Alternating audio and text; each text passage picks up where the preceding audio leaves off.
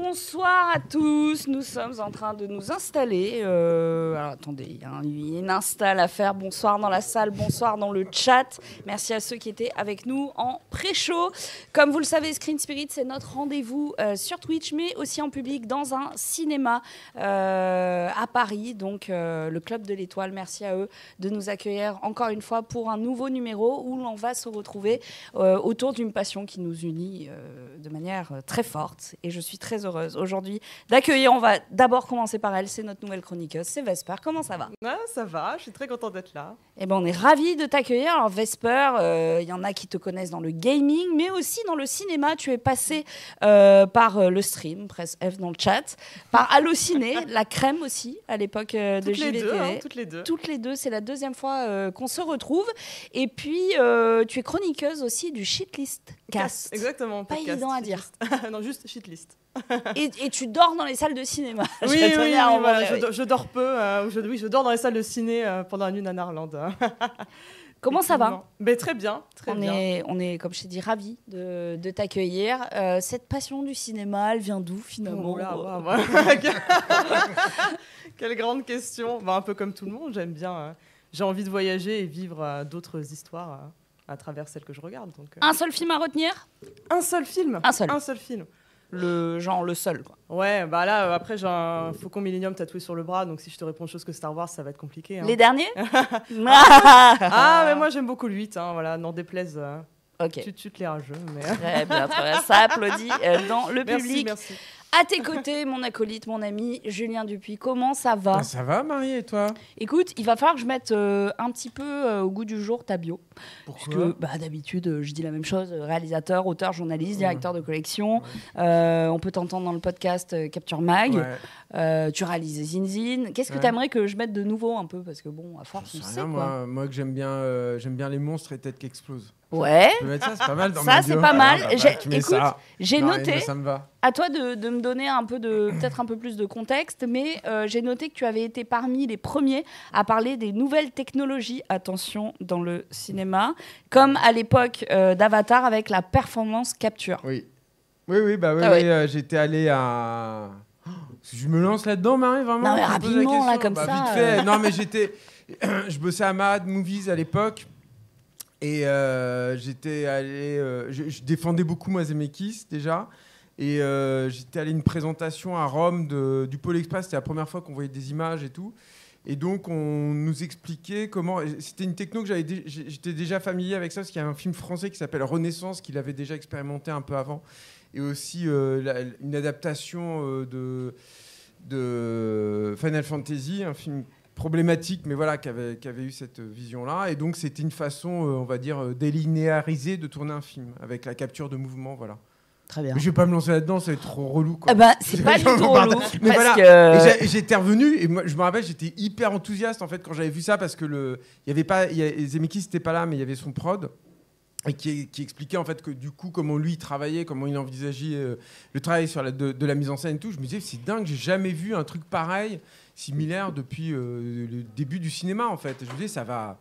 Ça va modifier en profondeur la façon dont les films sont, sont faits. Ça n'a pas été vraiment le cas partout, enfin, en J'allais dire, ouais, le mais il y constant a en plein de 2024. réals en fait qui s'y sont essayés d'une façon ou d'une autre. Puis là, avec les, ce qui est en train de se passer avec euh, certaines techno basées sur les IA, en fait, on, on va y retourner. On va, on va voir ça arriver, je pense, assez vite. Quoi. Voilà. Eh ben écoute, à tes côtés, il y a quelqu'un qui s'intéresse beaucoup aux nouvelles technologies, euh, à l'IA aussi, et à tout ce qui se fait euh, un petit peu aujourd'hui pour parler de demain. C'est Maxil Dan, comment ça va? Salut Marie, écoute, ça va très bien. Effectivement, je m'intéresse pas mal aux nouvelles technologies, peut-être même un peu trop, parce qu'en général, j'ai tendance à dire plutôt du bien de tout ce qui est lié aux intelligences artificielles. Mhm. Et c'est pas trop à la mode. Les gens préfèrent en dire du mal, surtout quand Bah, Quand ça vole le travail des autres, oui, mais quand c'est pour... euh, artistique, en général, ça râle un peu. euh, mais moi, j'essaie de voir le verre plutôt à moitié plein et de voir ce que ça va apporter, plutôt de voir ce que ça va enlever.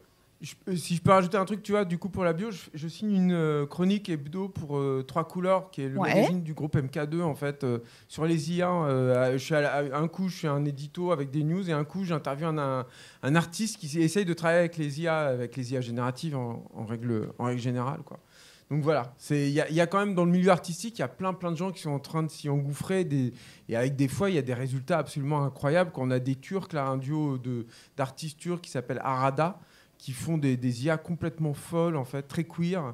C'est vraiment super, en fait, ce qu'ils font. Et j'ai voilà, eu des... euh, J'ai We Are Aunties euh, qui, arrive dans un prochain, qui, qui lui vient de Singapour, en fait, qui fait que des trucs avec des vieilles dames dans des sushis et tout. C'est c'est complètement dingue, en fait. Et c'est des images que tu ne peux... que je voyais pas avant, en fait. tu vois, qui ne Ah bah peuvent des être permises dames dans un sushi, euh, ouais, Ouais, ouais, J'essaie de le résumer avec des mots, mais c'est très compliqué. Mais du coup, il y a plein de trucs. En fait, il y a des mecs qui créent des univers en fait à travers tout ça. Et il y a des réels, y compris français, Christian Volkmann, par exemple, euh, Mar- euh, Maraval. Enfin, il y a plein de gens en fait qui, qui- qui sont en train de, réfléchir autour de cette, de ces outils en fait, de ce que ça peut leur permettre et de ce que ça peut, ce vers quoi ça peut aboutir. Donc, euh, Donc ça va aussi le verre à moitié plein et Bah ça ouais, ouvre, ça disons, cool, les chakras. Je vous Mm. disais, vous étiez fait euh, pour vous entendre. Et puis on, on aura aussi un invité euh, dans cette émission, une émission qui va tourner autour de la musique et du cinéma, mais pas que.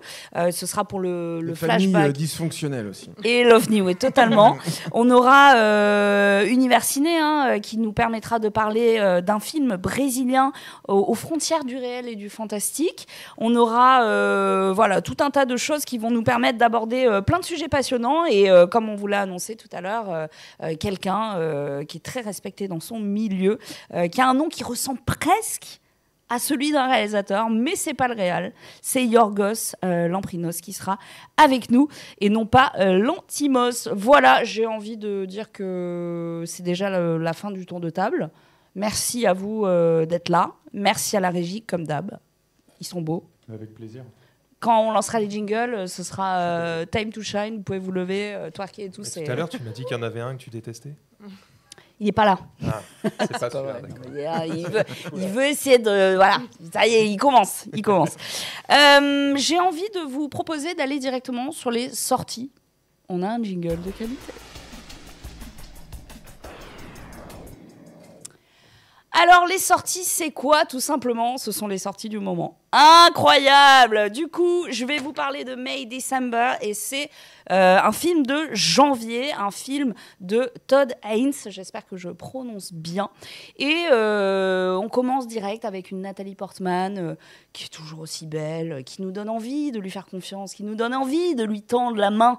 Évidemment qu'elle apporte son lot de problèmes.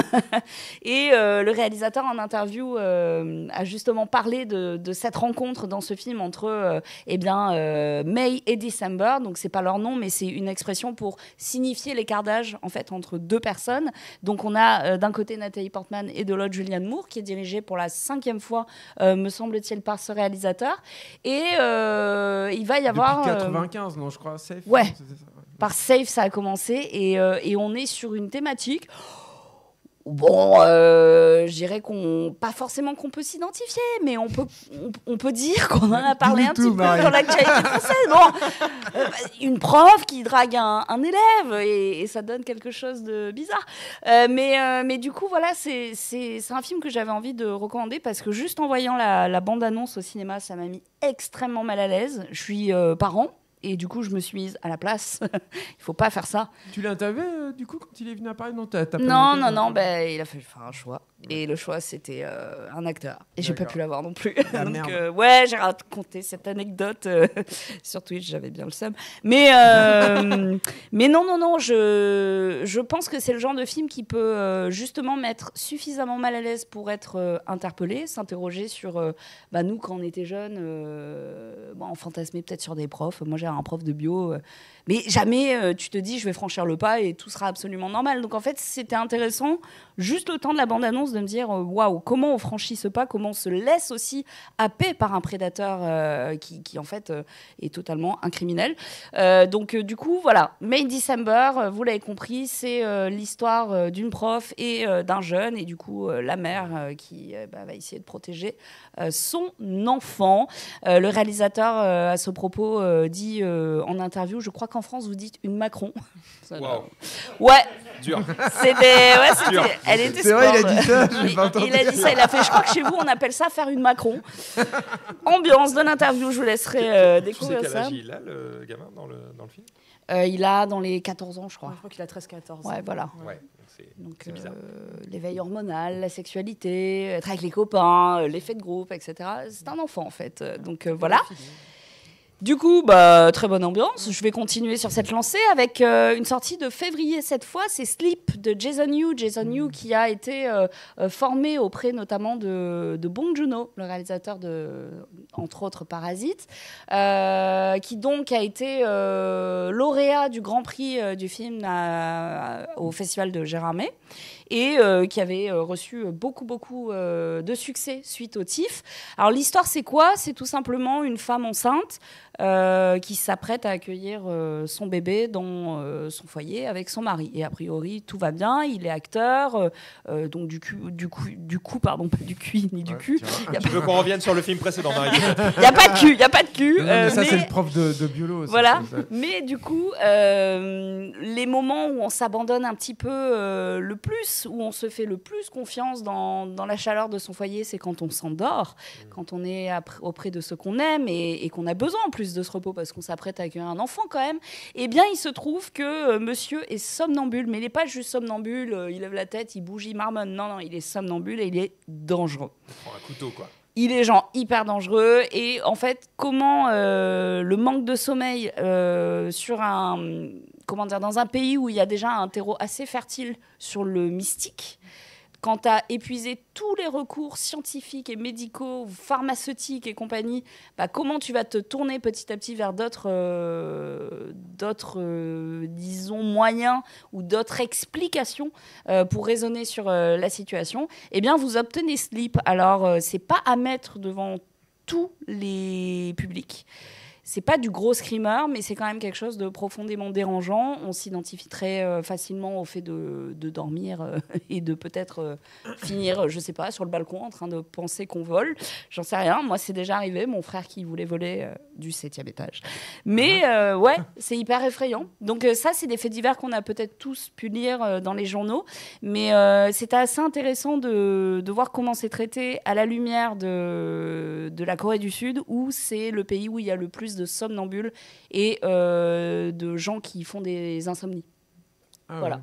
Parce que ça pression, s'explique, euh, ça bah, pression euh, sociale de fou, euh, pression académique euh, de fou, pression euh, esthétique de fou. Ouais, C'est-à-dire qu'ils sont sursollicités, surpressés. ouais. On leur demande d'être les meilleurs absolument partout, d'être les plus beaux, d'être les plus performants. Et au-delà de ça, en fait, il y a, il y a vraiment une prolifération euh, de solutions assez horribles, comme se tourner vers les sectes. Euh, Il y a aussi un business autour du sommeil, des cliniques du sommeil absolument partout, euh, des couettes, des draps et des oreillers censés vous faire dormir et passer des nuits absolument géniales, comme s'ils étaient magiques. C'est juste des draps. Mais euh, voilà, c'est vraiment un sujet en fait euh, en Corée. Et surtout, ce qui est dramatique, c'est que eh bien l'acteur principal, euh, Lee Sun Kyun, qui est euh, donc à l'affiche de ce film, s'est donné la mort quelques jours après euh, le début des promotions. Donc euh, voilà, c'est quelqu'un qui a subi, euh, même en tant que surprivilégié, acteur, enfant chéri de la nation, c'était le Brad Pitt sud-coréen, et comment euh, la Corée du Sud a une très grosse responsabilité en fait dans la mort qui s'est donnée. Bah, Donc, a ouais. pris la parole de- sur, ce, Ouais. sur son suicide. Il y a eu un collectif en fait de, Voilà, c'est ça. Mm. de réalisateurs et de figures artistiques du milieu sud-coréen sur comment aujourd'hui on a pu accepter qu'il y ait plus de 3000 articles euh, parlant de quelque chose euh, à propos d'une personne en euh, divulguant des choses que seule la police devait posséder. Donc là, ça fait encore parler en Corée du Sud et je trouve que aller voir Sleep, c'est aussi s'éveiller là-dessus. Voilà, donc ça, c'est mes deux recommandations. Je parle beaucoup et je vais donner la main à Julien. Ah Ouais, d'accord. Une bonne ambiance, je crois, Juju. non, mais en si plus. tu veux, non, je continue sur Gérardmer. En fait, il y a, avec Amelia's Children, moi, pour le film de janvier, qui vient de sortir, qui est sorti mercredi dernier, et qui a eu le prix du jury, je crois, à, à Gérardmer. Euh, alors, c'est pas ouf. Moi, je vais pas vous survendre le film. Ah, a- ok. Non, non, il y a- des, c'est un film qui a des problèmes. euh, qui a, je pense, surtout un, un- un problème de positionnement vis-à-vis de son matériau de base. C'est-à-dire que ce réal, c'est son deuxième film, mais euh, c'est un, gars qui vient de l'art moderne et euh, qui, a, qui a fait des expos au MoMA et tout. Et je, je pense qu'il a, il a, comment dire, j'ai ressenti un besoin d'avoir une certaine distance par rapport au- à, ce qu'il était en train de traiter, à se dire, à, se contraindre, par exemple, à mettre du sens là où c'était pas forcément nécessaire, où ça pouvait être en tout cas euh, contre-productif par rapport à ce que le, film pouvait te, te faire, euh, te faire ressentir. Et au niveau de la narration, il y a un autre problème en fait que j'ai enfin moi ça m'a gêné en tout cas qui a un, un changement de point de vue c'est-à-dire que tu penses que je, je vais essayer de pas spoiler le film mais tu penses que le film est raconté par un point de vue euh, dans, on va dire dans le, pre- le premier acte du film Ouais. et au cours du deuxième acte, en fait, ça entend- tu, ça- le film mute et tu changes de point de vue pour passer à un autre point de vue final. Et ça, c'est un problème parce que du coup, as, le fait d'être désarçonné, bah, tu es moins happé, du coup, tu t'ennuies un tout petit peu et tu vois venir un peu les choses. Bon, alors là, j'ai allumé le film de ouf. On se dit, mais pourquoi il le. C'est ça, Rocco. Allez, tous en salle. non, non, non. Yes. Non, parce qu'à côté de ça, je préfère prévenir, je veux pas non plus être complètement. Voilà. Mais après, à, à côté de ça, il y a quand même deux, trois trucs qui sont intéressants. Déjà, il y a. un- il y a alors, bon, déjà, c'est un film d'horreur euh, portugais, enfin, en tout cas, qui se déroule au Portugal, donc c'est pas si fréquent. Gabriel. Abrantes. Alors, il travaille pas trop l'image du Portugal, euh, disons visuellement. Voilà, c'est pas, il cherche pas à travailler pittoresque. Finalement, moi, je trouve qu'il aurait plutôt gagné à y aller, mais bon, voilà, ça, c'est son choix. Mais le, surtout, ce qui est intéressant, c'est qu'il y a deux choses en fait, moi, qui m'ont beaucoup plu dans le film. La première, c'est que il ose, il ose euh, travailler le grotesque. Moi, j'aime bien dans les cinémas d'horreur. J'aime pas que ça, hein, mais c'est un- une typologie de cinéma d'horreur que j'aime bien quand on on sait pas en fait où on en est. C'est-à-dire qu'on sait pas si on doit rire face à ce qu'on est en train de voir ou si on doit juste avoir peur. Et quand le film réussit à, à gérer cet équilibre-là pour pas se vautrer dans la, le- le- la gaudriole totale, euh, où, ben, ça, ça te provoque en toi des sentiments très déstabilisants qui sont euh, assez efficaces, je trouve, dans un, un film d'horreur. Ça, c'est la première chose. Et ensuite, il y a un autre truc. Ah, c'est un peu plus compliqué parce que je vais quand même être obligé d'un tout petit peu de spoiler, mais même si on s'en doute assez rapidement finalement, puis rien que le titre. Mais il y, a un- y un- y a un truc en fait sur, euh, on va dire, euh, l'horreur incestueuse, quoi. Ah. Et, euh, et en fait, ça c'est pareil. En fait, c'est ça te. Il y a deux trois choses en fait dans le film qui sont assez réussies là-dedans. que Moi, moi j'ai pas vu beaucoup et qui rendent le film. Alors ça va être un peu paradoxal par rapport à ce que je veux dire, mais rafraîchissant. Ah Un peu comme un petit cocktail. Est-ce que t'es ravi d'être venu, Max non mais Marie, attends, mais c'est, c'est- je, veux dire- je veux dire, ça change des trucs euh, Conjuring, enfin tu vois, le, le cinéma d'horreur est vachement formaté aujourd'hui, euh, et, euh, et, et du coup, je, je suis sorti du film, j'étais donc je, je reste mitigé, mais en même temps, je me suis dit, ça m'a, finalement, il y a deux trois trucs dans ce film que je vois relativement peu et qui sont plutôt intéressants. Donc voilà, c'est, une expérience à vivre quand même, je trouve, Amelia Ch- Children, en- avec euh, euh, avec des pincettes quand même malgré tout. Ouais. Voilà. Alors, je lisais euh, justement hein, euh, que le réalisateur avait totalement assumé de vouloir insuffler dans ce film d'horreur un humour très décalé, euh, de la Ouais. perversion et de la sidération aussi. Oui, oui, il y a un truc. Alors, quand tu vois le- la Amélia du titre, par exemple, pour la première fois, euh, il y a vraiment un truc où tu te dis alors attends, c'est un Z euh, et ils n'ont pas eu les moyens, ou alors euh, c'est grotesque, ou alors c'est vraiment effrayant. Et tu sais pas en fait. Et euh, moi, je sais que ce tout petit moment d'instabilité, on va dire, dans le positionnement, euh, moi j'ai apprécié ça. J'aime bien qu'on Ouais. court un peu aussi. J'aime juste- pas en fait quand t'es sur des rails, c'est chiant quoi. Voilà. et justement, tu avais, au fil de, des précédentes émissions, euh, pas mal abordé le, la, la question du maquillage prosthétique. Oui, oui, bah, on en avait parlé sur le règne animal Ouais. et tout. ouais. Du coup, là, il y a quand même une. euh, je vois 4 heures d'application, par exemple, pour euh, un des personnages, justement, euh, de prothèse. Ouais. Euh, c'est une gueule un peu bizarre. Euh, ou- ouais, mais je veux pas spoiler en fait. Mais Non, oui, mais oui, je- en fait, c'est une. euh, disons que. Tu lui fais pas un bisou, quoi. Euh, l'idée, mais elle est un peu grossière cette idée, si tu veux. Mais Ah. l'idée, c'est de te représenter une vieillesse qui n'est pas saine.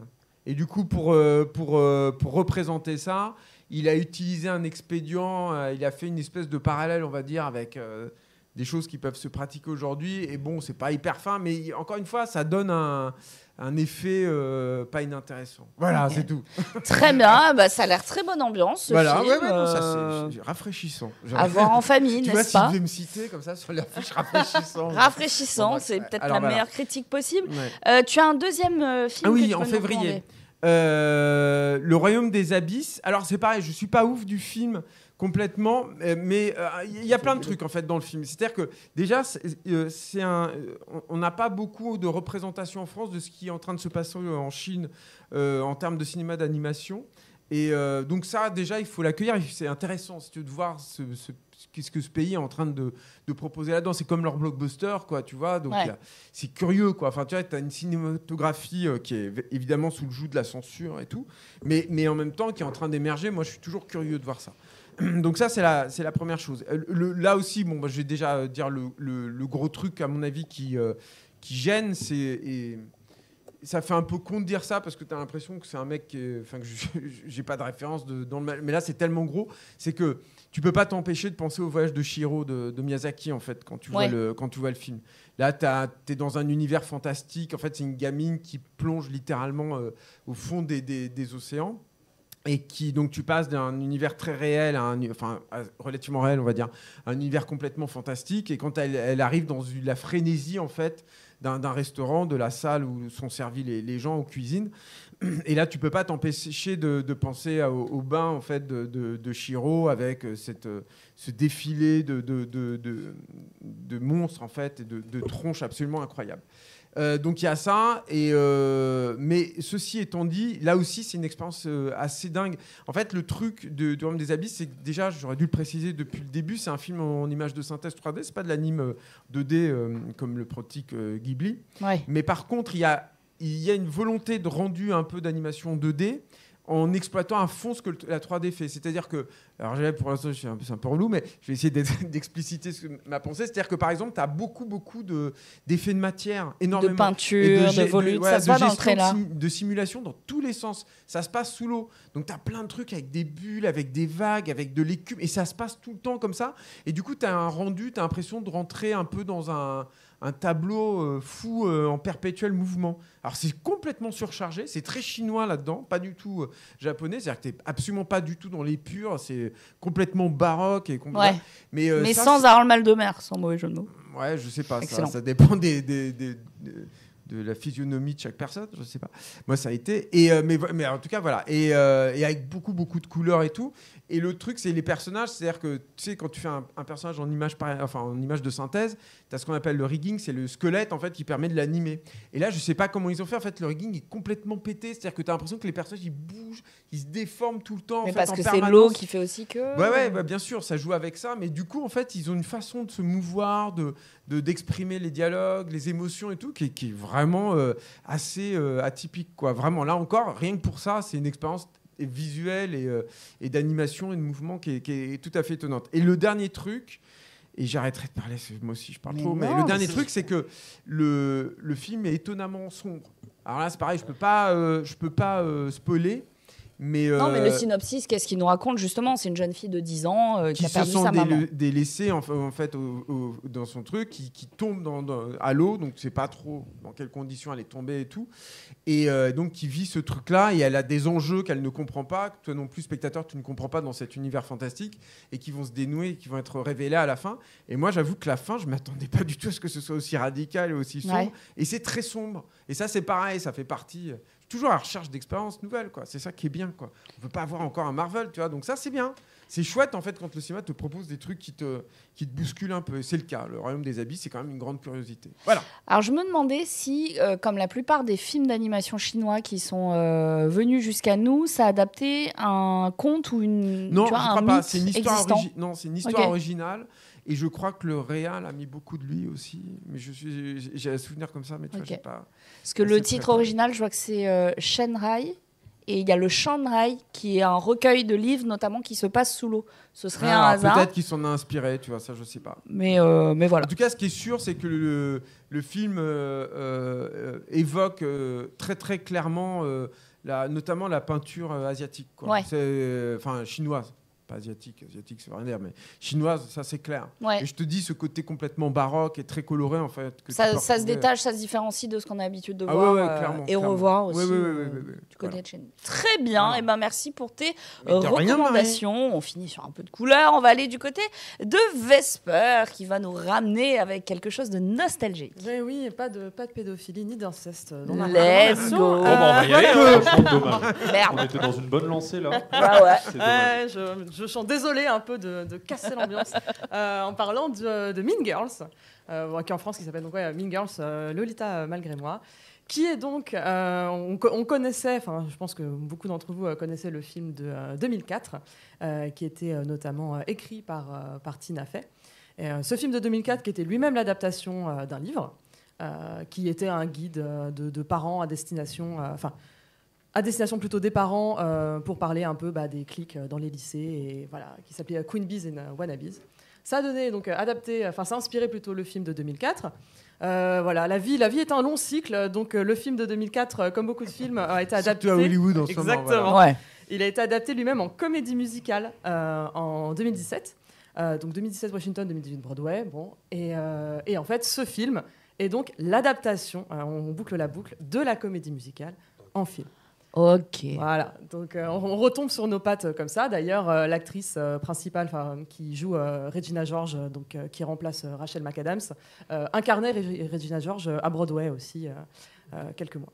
Elle est étonnante hein, d'ailleurs. Elle est incroyable. J'ai pas vu le, film d'origine. Ça chantait déjà beaucoup dans le film. Pas du tout. Bah, le, film, bah, le, film de, 2004 ne chante pas du tout. Si à la fin, il y a une séquence un peu de chant, de représentation à la toute Ouais, mais c'est pas, voilà, c'est pas, le but quoi. C'était vraiment 2004. C'était un c'est un teen movie euh, qui est culte pour beaucoup de personnes, notamment de ma génération, euh, qui euh, vraiment était, était très. Alors, bon, on avait notre période. Il y a eu la période Lindsay Lohan, hein, les, les Freaky Friday. C'était d'ailleurs le réalisateur de Freaky Friday. Voilà, elle avait fait beaucoup de ah films à ce moment-là. C'était un an à peine après Freaky Friday et Lindsay Lohan incarne une jeune lycéenne qui arrive et qui du coup se fait euh, bully par des meufs hyper méchantes. Bon, Lindsay Lohan est quand même canon, donc euh, tu te dis euh, au pire devenez ah, potes quoi. Mais bah, l'idée c'est qu'effectivement elle vient, elle vient d'Afrique, ce qui voulait rien dire et maintenant on dit qu'elle vient du Kenya, c'est un peu mieux. Donc oui, elle, en fait elle était déscolarisée. Enfin, c'était ses parents qui lui voilà qui lui faisaient cours et là en fait c'est ça. C'était sa première confrontation avec l'école et le monde de l'école. Et ce qui était très drôle déjà à l'époque et ce qui est repris dans le, dans le nouveau film aussi, c'est qu'il euh, y a énormément de métaphores avec euh, la savane, ce genre de choses. Avec, euh, voilà, on compare les élèves à des animaux pour expliquer un peu les, les, bah, les, comment dire, les, relations, de pouvoir voilà, de, entre, entre chaque. Apex Predator, Exactement. Chanson, Et donc voilà, donc on pour revenir sur le, sur le film là, donc ça reprend vraiment l'histoire, enfin la à la lettre, à la lettre près. Il y a, il y a quelques micro-changements, mais il n'y a que les personnes qui, comme moi, ont vu beaucoup trop euh, le film d'origine qui feront la, qui feront la différence. Euh, le gros changement, donc en vrai évidemment, c'est euh, l'ajout des chansons. ils n'ont pas rajouté toutes les chansons de Broadway parce que sinon le film aurait duré 3 heures. Tu l'as vu le spectacle de Broadway Alors pas encore, ah j'ai pas pu le voir la fois où je suis allée à Broadway, mais par contre il arrive à Londres au mois de ah. juin. Voilà, donc je oh, ne vais pas me faire prier pour aller le voir pour aller voir à Londres à ce moment-là. Euh, mais ils ont euh, donc le film effectivement d'origine était sorti en 2004, un temps où euh, nous n'avions pas de smartphone notamment. Donc c'est quelque chose qui a été modernisé dans ce dans ce film-là, qui s'est qui s'est fait de manière quand même assez intelligente. Il n'y a pas trop c'est pas trop appuyé, mais il y a quand, y a quand même des petits moments. Euh, le, petit moment, euh, voilà, je tourne une vidéo TikTok et j'allais dire, il y a un petit live TikTok, forcément. Voilà, il y, a des, petits trucs, mais euh, mais c'est fait de manière intelligente. Alors après, il fait partie de ces films et on aura le temps d'en reparler plus tard dans l'émission, qui n'ont pas du tout été marketés comme des comédies musicales. Euh, car les comédies musicales sont assez euh, mal vues, on va dire, euh, à, notre époque, à mon plus grand désarroi. Et en fait, beaucoup de gens sont allés voir le film Mingers en sachant pas que c'était une comédie musicale. En fait, quand on regarde l'affiche, dans le logo, il y a une petite note, voilà, sur, si on revoit tout à l'heure. Et c'est tout en fait. C'est la seule, c'est la seule manière. Ah, moi j'avoue, je sais ah, voilà, Je savais pas non voilà. Dans le A de Mean Girls, voilà, il y avait une petite note. On m'avait invité à la première du film et tu vois, j'ai regardé vite fait le trailer pas spécialement vu que ça chantait beaucoup. Ça chantait pas dans le, trailer. Le thème euh, m'a pas évoqué grand chose, donc je me suis dit ok, je, passe mon tour. Alors qu'en vrai, on m'aurait dit que c'était une comédie musicale, je serais allé. Tu vois. et les chansons sont vraiment géniales. Euh, pour le coup, alors après, voilà, je suis amatrice de comédie musicale, hein, donc je ne serai pas peut-être la plus objective euh, dedans, mais les, chansons sont vraiment, sont vraiment super. Elles rajoutent, elle rajoute beaucoup. Regina a vraiment des chansons qui sont dignes de générique de James Bond. Oh, trop bien. Voilà, parce qu'elle est vraiment, euh, bah, du coup, la fameuse Queen Bee, donc euh, l'antagoniste du, euh, du, film, et elle a, elle a énormément de, de charisme. Et donc, ouais, ils ont adapté plein de trucs, et les nouveaux acteurs, donc effectivement, sont soit des personnes qui viennent de, de, de Broadway. celle qui joue Janice, sa meilleure amie, on la connaît parce que c'est elle qui faisait la voix de Moana, enfin, Vaiana, Moana, dans, les, dans les Disney récents. Enfin, voilà, c'est que des gens qui, qui savent chanter. Trop bien.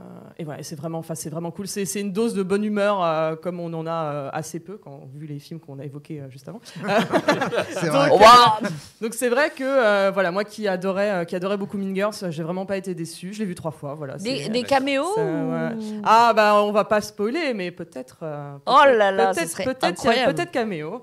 Euh, et en tout cas Tina Fey euh, qui et Tim Widows qui c'est deux des acteurs euh, qui faisaient deux professeurs hein, du coup dans le film original reviennent dans celui-là. C'est pas un spoil, ils sont sur l'affiche. Et euh, donc c'est c'est assez cool et voilà tout. La version 2004 est vraiment bien. C'est deux nouveaux réals, enfin c'est leur premier film Ouais. qui viennent euh, de Broadway, hein, c'est ça, ils viennent des musicals et euh, ils, ils, ils- ont pas fait, les- enfin ils ont essayé vraiment de. Moi je suis, je suis pas un gros fan du film, mais par contre faut reconnaître ça, c'est-à-dire qu'ils ont bossé quoi. Ouais. Ça, les séquences de, de comédie musicale, c'est des vrais. C'est- C'est c'est pas du Busby Berkeley, mais on est dans un truc comme ça. C'est hyper chorégraphié avec la caméra, avec le, avec beaucoup de figurants en fait dans le dans le truc et tout. Tu sens, tu, ça sent le boulot quoi. Voilà, ça c'est clair et net. Trop bien. Eh ben, écoute, euh, je me laisserai peut-être tenter. Ah. Euh, rapidement sur la Reco de février, Oui, sans bah, jamais nous connaître. Ça ira vite parce que, bah, contrairement à vos recos, je ne l'ai pas encore vu, donc c'est le Ah. film que j'attends Euh, voilà, énormément. Euh, on en parle beaucoup euh, depuis euh, l'année dernière, euh, par- peut-être plus par le titre anglais qui était euh, All of Us Strangers. Euh, bah, Andrew Scott, Paul Mescal, est-ce que j'ai besoin d'ajouter quelque chose pour expliquer mon attente euh, sur, ce, Scott. sur ce film? Surtout Andrew Scott, euh, pour des raisons évidentes. euh. mais voilà, j'a- j'attends, j'attends énormément le, le- le film, le, le pitch. le pitch a l'air un peu, un peu fantastique. les, donc il y a l'un des deux personnages qui, qui emménage dans un, dans un endroit et en fait il a des souvenirs qui lui reviennent et en fait il va se retrouver confronté à ses parents qui ont son âge et euh, alors qu'ils sont décédés. Donc euh, voilà, il y a ça. Ouf.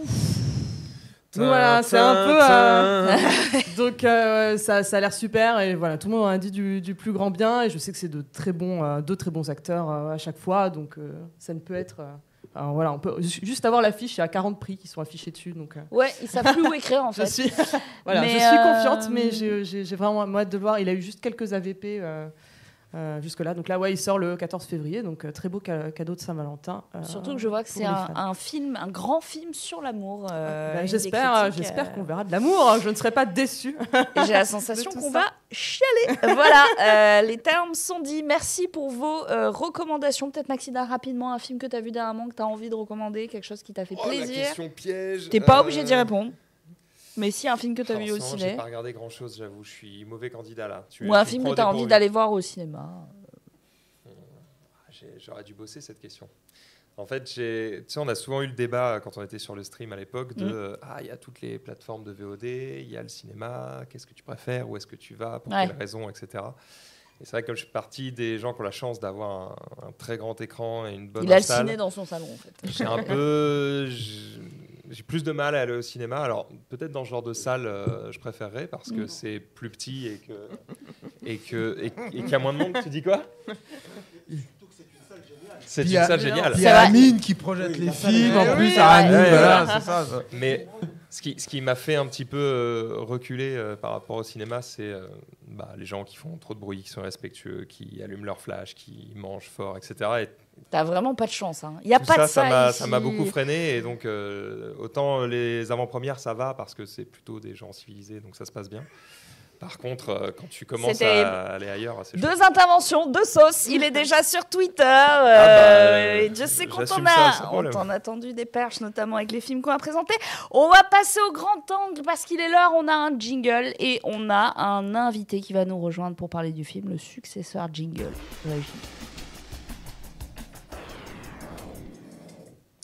Notre invité, comme je l'ai dit euh, en introduction, c'est Yorgos Lamprinos. Merci d'être avec nous. Bonsoir à tous. Bonsoir, installe-toi, mets-toi à l'aise, prends des bonbons, tu as de l'eau. Euh, on est ravis euh, de t'accueillir sur ce plateau. Alors rapidement, pour ceux qui ne connaissent pas euh, dans cette salle ou dans le chat, qui est Yorgos Lamprinos Tu m'arrêtes si euh, c'est faux.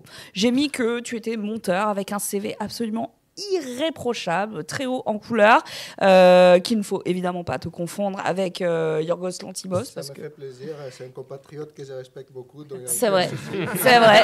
Il est plutôt. euh, pour vous à ce sujet après. ah, on aime bien les anecdotes, effectivement. Il est, il est plutôt bien reconnu euh, euh, par les, les festivals et, et toutes sortes de prix, euh, ce monsieur aussi. Euh, mais en parlant de prix, toi, tu as été par exemple nommé aux Oscars pour le meilleur montage avec The Father et son éclatant Anthony Hopkins. Voilà, Euh, plutôt canon, ça siffle, mais vous pouvez y aller. Euh, tu as travaillé avec. assisté, du coup aux- à la cérémonie Bah, C'était l'année du Covid. Donc Ah on. Ah, Ah. J'ai eu la chance d'avoir déjà assisté en 2014 avec le court métrage de Xavier Legrand. Ah, Donc j'avais déjà eu l'expérience à ce moment-là et Mm. c'était. C'est- ennuyeux? C'est Bah, long, non? c'est trucs, Moi, je, je viens d'une autre culture complètement, donc Mhm. j'ai jamais été dans le cinéma pour les prix et, et- et Ouais. ça. Mais j'avoue que c'était, ça m'a ouvert les yeux cette expérience parce que c'était très très agréable et je m'attendais pas du tout à ça. Mm. Et le côté agréable de cette expérience, parce que c'était aux États-Unis, donc c'est une période américaine, Mm. on critique euh, des fois et tout ça et tout, mais il faut quand même dire que tout le monde était au même niveau. Mm. Tout le monde. Tous Super. les stars, qui étaient- il y avait, c'était une année où il y avait DiCaprio, il était euh, nom- nommé. C'était l'année où Matthew McConaughey a eu son Oscar, qui a fait le super speech de Ah, Je cours derrière ouais. moi, où tu es là à te dire. qu'est-ce que- Bon, bref. Ouais. Mais en tout cas, c'était, c'était, c'était une expérience assez agréable parce que tu pouvais vraiment parler avec tout le monde, personne ne te regardait de Mm. haut et c'était vraiment, vraiment agréable. Super. N'hésite pas à parler plus près de ton micro. hein. Rapproche-le de toi. pour être Excusez-moi. Tu peux rapprocher euh, ton, ton fauteuil, ce sera plus simple. Euh, tu nous disais que tu avais une anecdote. N'hésite pas à la donner euh, maintenant hein, Bah, sur Yorgos. C'était, en fait, en grec, euh, notre nos noms de famille ne se ressemblent pas, Mm. mais je comprends très bien que pour euh, les, les étrangers, ça ressemble assez. Mais du coup, j'étais justement j'étais à Los Angeles euh, euh, à une période et j'avais rendez-vous avec des, agents là-bas. Et du coup, j'avais euh, un rendez-vous dans une grande agence. Et j'attendais dans le lobby et il y a un jeune, jeune homme qui vient me, chercher pour m'amener dans le bureau de, de l'agent. Et, il arrive à l'américaine, comme on dit, bah, sourire jusque-là. Mm. I love your work, j'adore votre travail. Oh là là, je le vois venir. Donc, euh, je- moi, dans ma tête, oui, super agréable, merci beaucoup, génial. Et du coup, on rentre dans l'ascenseur euh, pour euh, aller tout en haut du- d'une tour. Et il, il me regarde, il me regarde, mais je sens vraiment un regard très insistant sur moi. Je commence à me poser un peu de questions et euh, à un moment donné, bah, mais ça a duré genre 10 bonnes secondes. On était comme ça en train de se regarder dans le silence. Est-ce qu'il y a une petite musique derrière dans la Non, non, il n'y avait pas. C'était vraiment la- le silence euh, Ah oui, awkward. Et la mécanique, quoi, ouais. Et il se retourne et il fait Lobster, what a movie. Euh, Lobster, quel film Parce qu'il a cru que j'étais D'accord, Lantimos. Oh non. Et moi, je l'ai pris complètement. Je lui ai dit, ah bah merci beaucoup. C'était une très bonne expérience, j'avoue. Euh, donc, euh, c'est quelque chose avec qui j'ai aucun souci de, de nous comparer. Parce qu'en plus, son monteur aussi s'appelle Yorgos, le monteur de Yorgos Lanthimos, que je connais, qui est un très bon ami et un très bon monteur. Et du coup, des fois, lui, on le prend pour moi. Donc, il y a tout un truc euh, entre nous trois Ah qui, oui, effectivement. qui se balade. Effectivement. Alors, euh, je vois que tu as travaillé, alors tu le disais, hein, euh, Xavier Legrand, euh, Costa Gravas, Mehdi euh, Charef. Et là, tu arrives avec, du coup, un travail colossal sur le film, le successeur donc, de Xavier Legrand, où l'on suit Elias, qui est directeur artistique d'une maison de haute couture en France, voilà, Orsino, et qui, du coup, doit s'envoler pour euh, le Québec afin de euh, eh bien, euh, rendre hommage à son père euh, disparu. Préparer les funérailles. Voilà, en tout cas, son père, avec qui il n'avait pas la meilleure des relations, clairement. on, Non. on le voit, il y a des échanges de mails ou pas, euh, de Pas, longues ouais. périodes un peu froides. Et du coup, il retourne dans, dans un Québec vraiment très froid, très gris, très con- contrasté avec la vie euh, de haute couture parisienne et de luxe. Euh, on a une petite euh, bande-annonce, vous pouvez la mettre, euh, mais je pense sans le son. Pour qu'on- On a le droit? Eh ben, le bande-annonce, c'est parti. Sans le son, ça serait bizarre. Ouais. Ouais, On fait c'est les voix, on peut faire les voix. C'est ça. bah alors, On double en direct. On fait les mêmes détournements très bien. en direct. C'est toujours moi là. Ah ouais. Parler Ah, on n'a pas le son. Euh, une là, pizza, euh, c'est la pizza euh, montagnarde. Brainstorm encore sur Hey Elias Barnès. Ouais, ouais, ouais. Super Elias. Lève un peu le menton. Dans tout, dans tout à la caméra. La police est là. Alors on se voit ce soir. Oh, je suis fatiguée. Hein. Ah père a été quelqu'un de. de marquant. De marquant. J'ai tout fait pour pas ressembler.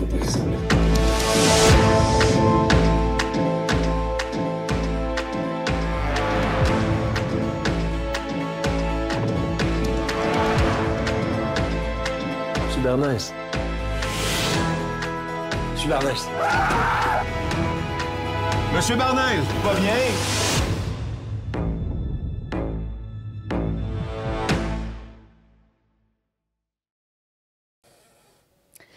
Qu'est-ce que tu penses du montage de cette bande-annonce? Pour une fois, une bande annonce courte. Ouais, ouais, C'est ouais, vrai. ouais. Non, non, mais c'est vrai. Non, mais c'est vrai. Mais c'est pas les monteurs des films en général. C'est les gens le savent c'est pas, moi mais c'est. qui, qui avait fait avec Xavier la bande annonce de Jusqu'à la garde. Ah, c'était toi qui l'avais fait. C'est exceptionnel. Pas- pas C'est très rare ça. Hein. parce que Ouais. on cherchait ça. Hum. À l'époque, c'était la mode de bande annonce de 3 minutes qui t'explique tout le film. Ouais, ouais, Ouais, et puis qui se ouais, montre ouais, tout, ouais, quoi. C'est ouais. pas vraiment nos goûts. Hum. Et donc, euh, je suis assez content de ce qu'ils ont Mm. fait pour, euh, Mm. pour ce film-là, même si j'étais absolument pas mêlé, tant mieux. Hum. Parce que des fois, c'est très dur, et surtout pour. Euh, bah, c'est pas notre travail, en vrai. Ouais. on a un attachement au film qui est complètement différent des personnes qui font les bandes annonces, donc euh, c'est plus que normal que c'est quelqu'un d'autre qui s'occupe de, de cette étape-là. Tu, tu travailles combien de temps sur un film comme ça, du coup, toi Ça dépend. Ce film-là, ça a été assez rapide Ah et assez agréable, l'expérience. En plus, euh, à l'époque, euh, je sortais d'une euh, série pour, euh, de science-fiction pour Apple TV qui durait, durait, durait. Et du coup, me retrouvais dans quelque chose. et avec Xavier, maintenant, on se connaît un peu quand même. Donc, euh, et il a une écriture et une mise en scène qui est très précise, Hum. ce qui facilite mon travail et les rend. Quand je travaille avec Xavier ou des gens comme, comme Xavier, que, il y a des, des réalisatrices ou des euh, très, très forts avec qui j'ai eu la chance de collaborer. Quand tu travailles avec quelqu'un qui est très précis, tu vas à l'essentiel de ton travail. Hum. Donc, euh, le montage, des fois, on considère que c'est une étape pour euh, résoudre des problèmes. Mm. C'est C'est pas vraiment ça. Le montage, c'est une étape pour choisir, pour avoir des choix Hum. et choisir. Donc, euh, la façon dont, dont Xavier écrit et, et ré- et réalise fait qu'on n'est pas vraiment là pour résoudre des problèmes narratifs, mais on est plus là pour euh, ce que moi je considère l'essentiel de mon travail et trouver les, les, les bons rythmes. Des fois, il y a quand même, surtout sur ce film-là, on a fait un peu de restructuration, restructuration narratif, mais, mais hum, c'est surtout trouver les, les rythmes qui fait que les, les scènes euh, ont l'impact émotionnel qu'il faut Ah. à chaque fois. C'est ça les... Parce que pour moi, le montage, euh, c'est quelque chose d'extrêmement complexe. Je peux parler pendant des heures là-dessus, mais je ne pense pas qu'on a le temps pour ça. mais en tout cas, parmi toutes les choses, c'est euh, la collaboration avec un réalisateur, le dialogue avec un réalisateur, et puis Mm. le dialogue que tu fabriques avec le public. Oui. Parce que moi, mon rôle, c'est ça. C'est de, de- de mettre des, des images ensemble et des sons ensemble Mm. pour provoquer une réaction au Mm. public. Et vous en parlez tout à l'heure avec euh, des, des réalisateurs comme Xavier, on a des sensibilités assez pareilles qui font qu'on aime bousculer les gens, Mhm. on n'aime pas les prendre par les pincettes. Mhm. Et puis, euh, ce qui était le cas de toute façon de son premier long métrage jusqu'à la garde, mais, euh, mais on le fait d'une façon qui est honnête et qui n'est pas manipulatrice. Et aussi, moi, ce qui m'intéresse énormément dans le travail qu'on fait avec Xavier, c'est que il faut fabriquer vraiment de l'attention, mais sans pastiche, sans, sans. C'est pas que je, je- c'est pas que je. Il y, a des, il y a des films où tu peux y aller, utiliser des techniques de montage ou des, des, des façons de faire les choses qui sont plus voyantes et plus exabérantes. Mhm. Mais sur le Chez travail Michael Bay, par exemple? Oui. J'adore. mais bon, Rien contre Mike chose, Bay, oui, mais oui, pas, oui, c'est pas vraiment ma sensibilité. Oui, mais non, j'imagine, bien sûr, Ces cinémas-là, et puis euh, après, oui, donc euh, c'est- faire un impact et une tension émotionnelle la plus haute possible avec le moins de, de choses possibles. Et ça, pour moi, autant que monteur, c'est extrêmement intéressant. Après, euh, quand j'avais terminé, par exemple, le film de Fader, comme j'ai besoin aussi de sortir euh, ça de moi, bah, j'ai fait un clip euh, pour Disclosure avec un ami qui est un montage euh, frénétique et je prends un énorme plaisir avec ça aussi. Mm. Donc, euh, c'est on essaye toujours de, de, de changer, évoluer, mais c'est pas. hum, C'est vraiment ce la façon dont Xavier réalise et écrit, c'est quelque chose qui, qui me touche beaucoup. Et puis aussi, c'est lié aux thématiques et de, de, son court-métrage, de Jusqu'à la garde et de ces films-là, qui pour moi, ils sont super importantes. Donc, euh, c'est une expression. Donc, euh, je, donne, je, je, je m'exprime à travers de ça. Et aussi, je, ça me permet, parce qu'on parlait de, de ou des films d'horreur ou tout ça et tout, pour moi, c'est pas. C'est cathartique. C'est Mhm. quelque chose que j'ai besoin parce que ça me fait aussi, par rapport à moi, euh, réagir et, et réfléchir et, fabriquer quelque chose qui est très profond parce que ça me, c'est lié à plein des expériences euh, de vie. Mhm. Donc c'est complètement une expression. Tu parlais de, de rythme, mais euh, il y a aussi le de ton peut-être aussi, parce que c'est-à-dire que le montage, il y a un truc. À partir du moment où tu montes euh, le, le jeu de, de comédien, en fait, tu peux donner un ton complètement différent à un film en choisissant les prises. En... C'est pas juste choisir un mot, un- une prise où l'acteur est juste, ça va au-delà, quoi. C'est qu'il y a des nuances qui te donnent des nuances. Enfin, je sais pas comment tourne en, en l'occurrence. Ça, ça, Mais- c'est- c'est- ça va bien Mm. au-delà, mais après, moi, en tant que monteur, euh, je me base beaucoup. Je, je pas, quand je lis un scénario, par exemple, je ne décide pas d'une façon d'aborder le montage du film. Mm. Il faut absolument que je vois les, les premiers rushs Mm. pour, euh, pour, pour à- établir ma façon d'aborder le film. Parce que ça vient toujours, de, pour moi, des comédiens. Et ce qui était le cas sur The Father, par exemple, ou sur ce film-là. Parce que la, la, la prestation de Marc-André Grandin, elle est, elle est super dans, dans le film pour moi. J'espère que pour les spectateurs aussi. Donc ça, ça joue énormément dans ma façon d'aborder les, les films, des, les rythmes qui viennent de, de, de la performance et de la mise en scène. Mhm. Parce que si tu vas monter un film qui va dans le contresens de ça, Mhm. ça va se voir tout de suite. Mhm. Et je pense que les gens, ils vont le ressentir tout de suite aussi.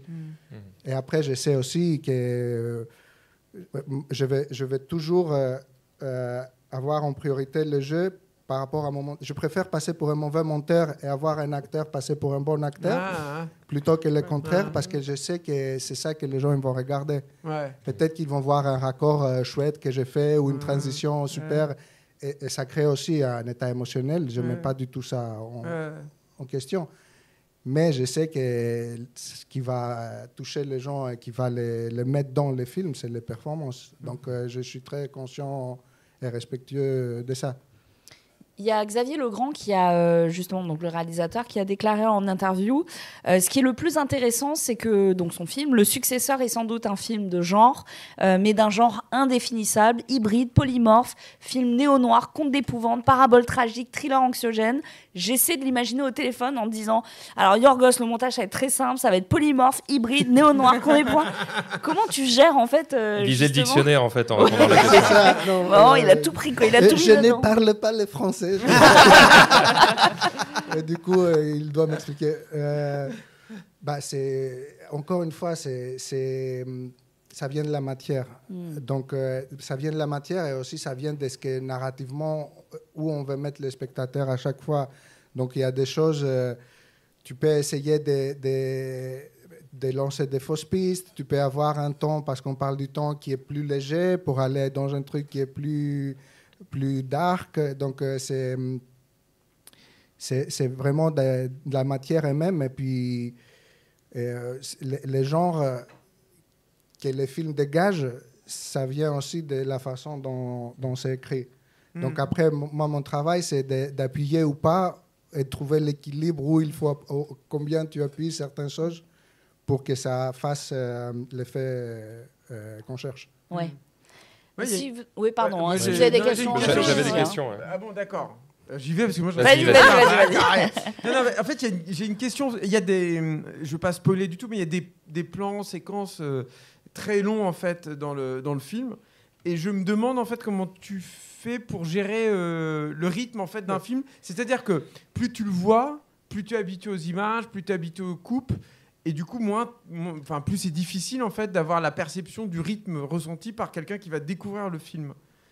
Et Bah, comment tu là, gères c'est- ça en c'est fait? là où j'ai fait confiance quoi. à mon instinct, quand Oui, même. oui, c'est ça. C'est ça, non, parce que c'est très compliqué en fait d'avoir un. Tu pourrais, on pourrait se dire. euh, quand on a un point de vue complètement extérieur, euh, on a une tendance à tout resserrer au bout d'un moment, Oui, mais- par peur justement de, de lâcher le truc, en fait, de se dire, ok, là, je peux faire confiance au film, euh, il va tenir en haleine les spectateurs suffisamment longtemps pour que je laisse courir ce plan euh, aussi longtemps que ça. Bah, c'était, c'était le cas dans tous les travaux qu'on a fait avec Xavier parce que euh, son court métrage, Avant que de tout perdre, qui Mm. était son premier cours, euh, il n'y avait pas de musique. Mm. Il y avait zéro musique. Donc ça, déjà, pour moi, en tant que monteur, c'est un challenge. Parce que c'est super intéressant, justement, comment tu vas adapter ton rythme pour avoir quelque chose qui n'a pas de musique. Euh, Jusqu'à la gare, c'était pareil. Il y a une seule scène musicale où il y a euh, un, personnage du film qui, qui chante. Et, Xavier, il aime ça. Il aime les, les- les plans séquences parce que ça lui permet de, faire l'effet que lui, il fait à travers de ça.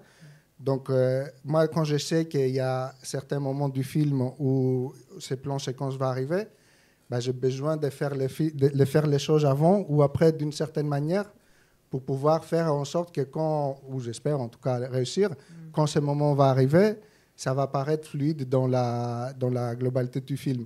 Et après, moi, j'aime bien les risques.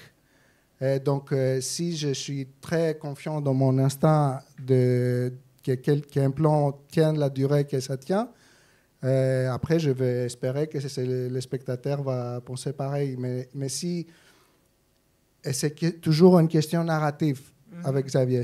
C'est jamais une question de forme. Oui, là, en l'occurrence, les Donc- plans auxquels je pense, il y a donc, une tension narrative Voilà, très forte. donc, ouais. donc euh, c'est- comme ce n'est pas, c'est pas juste une question de forme, bah, je fais confiance aussi que le spectateur va, Ouais. va faire le travail de- d'aller dans ce sens-là.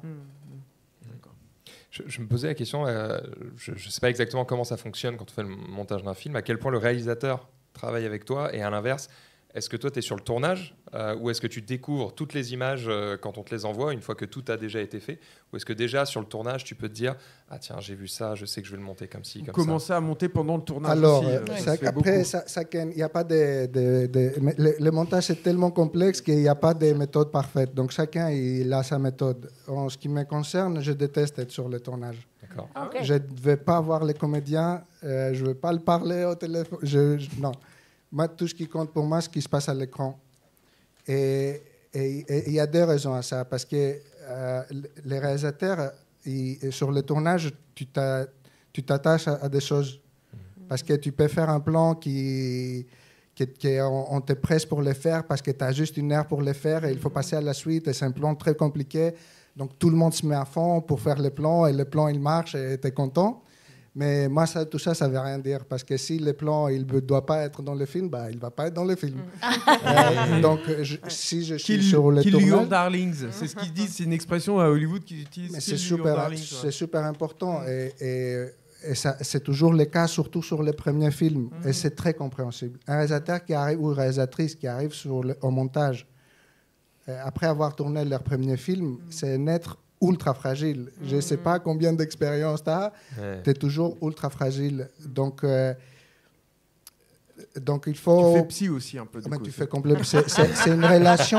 C'est une relation. Mais moi, c'est ça que j'adore. Donc, pour répondre à, à la première question, moi, j'adore travailler avec euh, les réalisateurs, les réalisatrices parce que je cherche ça. Moi, je cherche de sortir de ma tête parce que je m'ennuie dans ma tête et rentrer dans la tête de quelqu'un d'autre.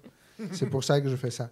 Donc, euh, euh, j'ai envie que les réalisateurs ou les réalisateurs soient là parce que tu- arrives du tournage, tu es fragile. Après, euh, je, je parlais du, côté technique après.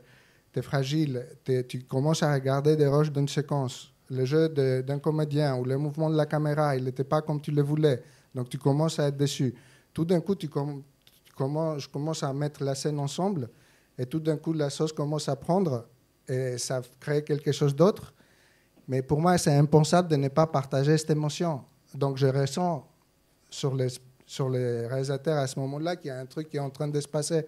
Et donc, comme moi, je suis son premier spectateur, Lui, elle, c'est mon premier spectateur aussi. Et donc, euh, pour moi, cette collaboration-là, elle est plus qu'importante. Je peux très bien faire un film tout seul, aucun problème, je suis très capable de faire ça, mais ça m'intéresse nettement moins que la, que la, que la relation que je... Après, euh, ça, me, ça prend énormément de nous. C'est quelque chose qui te vide complètement. Et, mais c- c- sinon, ça- pour moi, ça n'a pas trop de sens. Le- Les, les- je, je vais parler un petit peu de mon expérience parce que quand tu fais, euh, quand tu réalises des trucs sur Twitch ou sur YouTube, euh, le travail du monteur il est euh, assez évident parce que c'est hyper dynamique, les coupures elles sont, elles sont assez nettes et parfois même les YouTubeurs jouent avec ça et, et parlent à leur monteur à travers la caméra et, et- et brisent le mur. Il n'y a pas de souci avec ça. Ce que je veux dire, c'est que les, les monteurs sont un peu plus mis en avant sur YouTube. Dans le cinéma, le grand public, euh, il entend jamais parler du monteur, alors que ça me semble être, je vais pas dire la moitié du film, mais c'est tellement primordial. Entre un Non, bon et un mauvais moteur, euh, tu as un bon et un mauvais film. C'est- C'est très, c'est bah, c'est une des étapes les plus importantes, pas parce que je fais ça, mais c'est clairement une des, des- des étapes parce que C'est là où tu fabriques le film réellement. Et, mais moi, j'aime j'aime ça aussi. J'aime j'aime que, on en parlait un tout petit peu avant, c'est que pour moi, le cinéma dans mon enfance, c'était de la magie. C'était quelque chose qui était. Vous parlez de, de- vous parlez de, de Star Wars tout à l'heure. Moi, je viens de cette génération-là. Un des je crois que j'avais 4-5 ans où j'ai vu euh, le retour du Jedi au, au cinéma, en salle. En plus, c'était très drôle parce que j'avais un pote de l'école, et, et on était, je me rappelle très très bien, je vais toujours me rappeler, on était en train de jouer dehors et tout d'un coup, il me dit Qu'est-ce que tu fais ce soir? Euh, Je dis Je vais avec ma mère au cinéma. Et lui, il me dit Ah, je vais aller au cinéma aussi. Et il me dit Euh, Tu vas voir quoi? Je dis Le retour du Jedi. Et moi, ah, moi, je vais aller voir Star Wars. Et on, on était en train de se batailler qui va voir les meilleurs films. C'est la même On chose. compte et on allait voir la même chose. Donc, euh, pour moi, c'était toujours un truc de magie. Et, j'ai- et après, avec euh, l'arrivée du DVD ou les numériques ou les plateformes et tout ça, maintenant, le, le public sait beaucoup plus comment on fabrique un film de- et tout ça. Donc, je suis assez fier quand, c'est un poste quand même qui reste toujours un peu, euh, dans un mystère. Puis on parlait de tout Ça, à l'heure des, Oscars, hein, donc il y a, voilà, il y a une catégorie aussi pour euh, le montage. montage. Très rapidement, je rebondis sur euh, deux questions du chat. Une à laquelle tu as répondu, euh, Moadib, qui demandait du coup comment on arrive au montage comme choix de, de carrière. Je trouvais ta réponse très jolie. Je m'ennuie dans ma tête, donc j'aime bien aller dans celle des autres. et, euh, et Vis euh, Mamamuchi qui demande alors comment ça se gère avec la musique, parce que c'est la thématique de, de cette émission. Euh, Est-ce qu'elle est faite avant ou après? Est-ce que c'est plus dur? Du coup, je vais, je vais étayer cette, euh, cette question. Thèmes track. Ouais, est-ce que c'est plus dur de monter sans la musique ou est-ce que au contraire c'est une contrainte de plus qui va brider ta vision?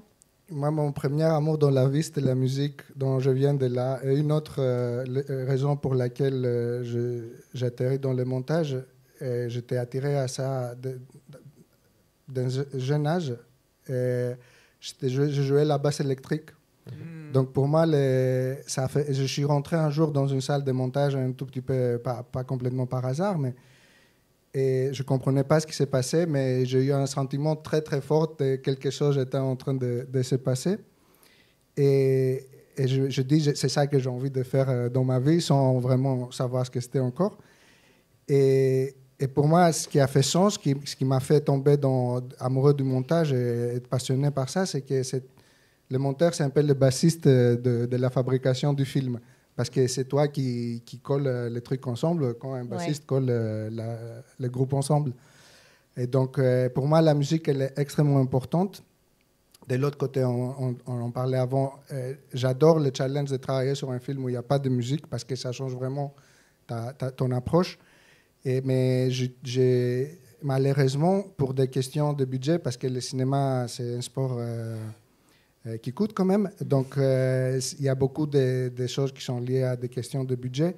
Pour moi, normalement, un musicien doit arriver au moment de l'écriture du scénario et Mm. commencer à écrire des thèmes euh, après la lecture du, du scénario, ce qui est assez rare en France, même, euh, même à l'étranger. Et du coup, euh, euh, traditionnellement, on utilisait des musiques temp, c'est-à-dire euh, ben, de ta librairie YouTube, iTunes ou n'importe Spotify ou n'importe, ou des choses que tu t'es t'es habitué. Mais je, je déteste faire ça parce que c'est trop un piège de, mettre une musique qui marche bien que tu sais déjà que tu vas pas avoir. Hmm. Et, Tu mets et du les Bernard montages- tout à coup, tu dis Oh putain, super, avec la musique de Vertigo. Et ça. après, il y a ça aussi. Il y a des musiques que tu peux monter euh, l'image à l'envers et tu mets certaines musiques. Ouais, euh, oui. Ça va c'est incroyable. Donc, euh, moi, je fais très attention avec ça.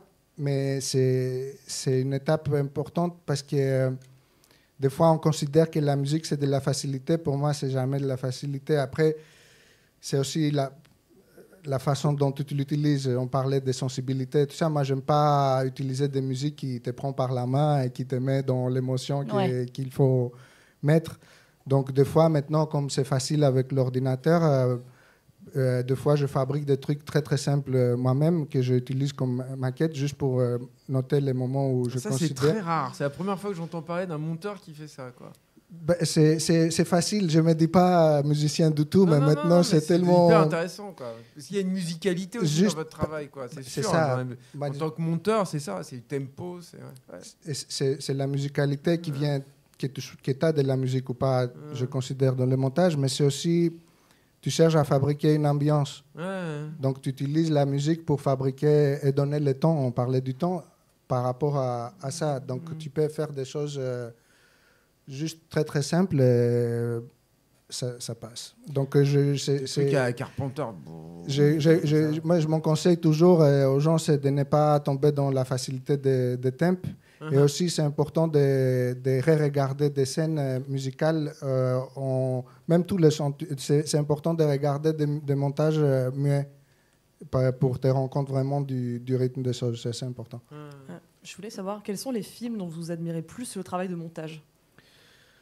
C'est- Je ne peux pas facilement répondre à cette question parce que il y a, je ne suis pas du genre quel- du tout quelqu'un qui va regarder des films et commencer à prendre des notes. Ouais. Je ne fonctionne pas du tout comme ça. Il n'y a pas une déformation professionnelle de. euh, Non, mais après, je peux être touché par... Généralement, de toute façon, en règle générale, si tu, si tu vois un montage qui n'est pas terrible, ça veut dire qu'il est vraiment pas terrible. Tu peux pas te cacher. euh, C'est-à-dire que tu peux voir un, un film et ne pas penser du tout au montage, mais si tu penses que le montage n'est pas bon, ça veut dire qu'il est vraiment pas bon. Et donc, je me, laisse influencer par 3 milliards de trucs sans vraiment... Mais après, s'il y a une monteuse qui m'a un peu in- influencé, parce que c'était mes débuts quand je suis arrivé en France, c'était, c'était Françoise Bonneau, qui était la monteuse de, Costa Gavras, qui pour moi, elle est exceptionnelle. Après, il y a plein de gens que je respecte, Juliette Wenfing, euh, qui est notre, nous tous, euh, qui est une monteuse exceptionnelle, euh, qui fait les films de Les scaphandres et les papillons, plein, plein, plein de, de- de- qui a aussi, elle, une poésie et une musicalité dans sa façon de faire les choses. Ouais, une monteuse hallucinante, incroyable. ouais. Mais, mais j'essaie de ne pas trop. Par contre, le- l'exemple de Françoise Bonneau, quelque chose que je cherche aussi dans, dans mon travail, c'est que euh, j'avais vu un film où, il- avec Anthony Hopkins, c'était une adaptation de Titus Andronicus que Ah. Julianne euh, Taymor, elle avait fait à l'époque avec Jessica Lange. Super musique de Elliot Goldenthal. ouais, ouais. C'est ça. étonnant ce film. Et en regardant le film, j'avais une sensation très particulière Mm. par rapport au rythme du film lui-même. Et comme c'était mes débuts et, et- et- et j'avais, j'étais euh, disciple de, de Costa de toute façon, et j'ai regardé ces films à l'époque, euh, je découvrais tout. C'est, je me demandais est-ce que c'est elle qui a monté ces films Et en regardant le générique de fin, ça, ça veut que c'est elle. Mm. Et je trouve que ça, pour un monteur, c'est un des meilleurs euh, compliments parce que c'était pas un truc visuel. C'était vraiment un ressenti par rapport au, au comment j'a- j'appréhendais le film. Et ça, c'est c'est ce que je cherche. Je ne sais pas si je l'ai réussi, mais c'est clairement quelque chose que je cherche euh, dans mon travail. Que ce soit pas juste visuel. J'ai une dernière question, euh, et puis après on rappellera la, date de sortie de- du film Le Successeur. Est-ce qu'il y a des montages euh, dit culturel, c'est-à-dire que euh, tu sais tout de suite que c'est un montage euh, de cinéma coréen, euh, un montage de cinéma chinois. Est-ce qu'il y a des fois, ouais, euh, des, des montages où vraiment tu te dis, waouh, c'est vraiment très différent de ce qu'on a l'habitude de faire ou. Ah ouais, Ah ouais. effectivement. C'est vrai. Et moi, j'ai trouvé hyper rythmé, en fait, justement. leur Ah bah, j'adore. C'est euh, incroyable. je- hein. je- on parlait de- avec un, un ami monteur euh, Mm. qui est assez euh, expérimenté aussi. Et on disait il faut qu'on trouve un film à le faire. euh, Ah ouais. Ah j'aurais adoré, mais, mais euh, après, c'est- une question que je me pose, et puis je me pose aussi la question parce que je suis pas. Ça fait. Je suis arrivé en France, j'écoutais euh, du Walkman, donc euh, ça date quand même un peu. Mais il y a toujours la question culturelle, tu te la poses toujours. Ouais. Après, c'est pas, je ne me pose pas la question du montage culturel. Et, et- et maintenant, comme les systèmes économiques, ils ont changé, tout ça et tout, on se trouve toujours dans les coproductions. Donc, tu as toujours affaire avec euh, des cultures différentes. Et des fois, c'est malheureux de voir qu'il y a quand même des, des fossés assez importantes.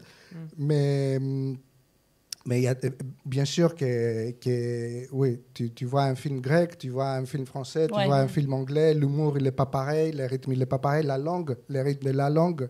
Ouais, ouais, bien Tu sûr. montes un film en français, tu montes un film en anglais, c'est pas la même façon d'aborder les choses. Mm. Ça crée pas les mêmes euh, rythmes, la langue. Donc, euh, oui, il y a des. Heureusement d'ailleurs, qui fait que. Moi, ouais, des fois, j'aimerais bien que les fossés soient un peu plus serrés, quoi, mais, mais en même temps, heureusement qu'on est un peu différents, sinon ça serait Eh oui. trop chiant, quoi. Ah bah C'est oui, comme ça qu'on se différencie, effectivement. Alors, n'oubliez pas, euh, le successeur hein, de, de Xavier Legrand est, euh, est monté par ce grand monsieur euh, qui nous fait l'honneur d'être avec nous. Euh, eh bien, ça sort le 21 février en salle. Euh, et comme son nom l'indique, c'est euh, eh bien, euh, tout ce que l'on reçoit en héritage, ce dont on ne veut pas et ce dont on n'a pas le choix de recevoir euh, lorsque euh, l'un de nos proches euh, disparaît.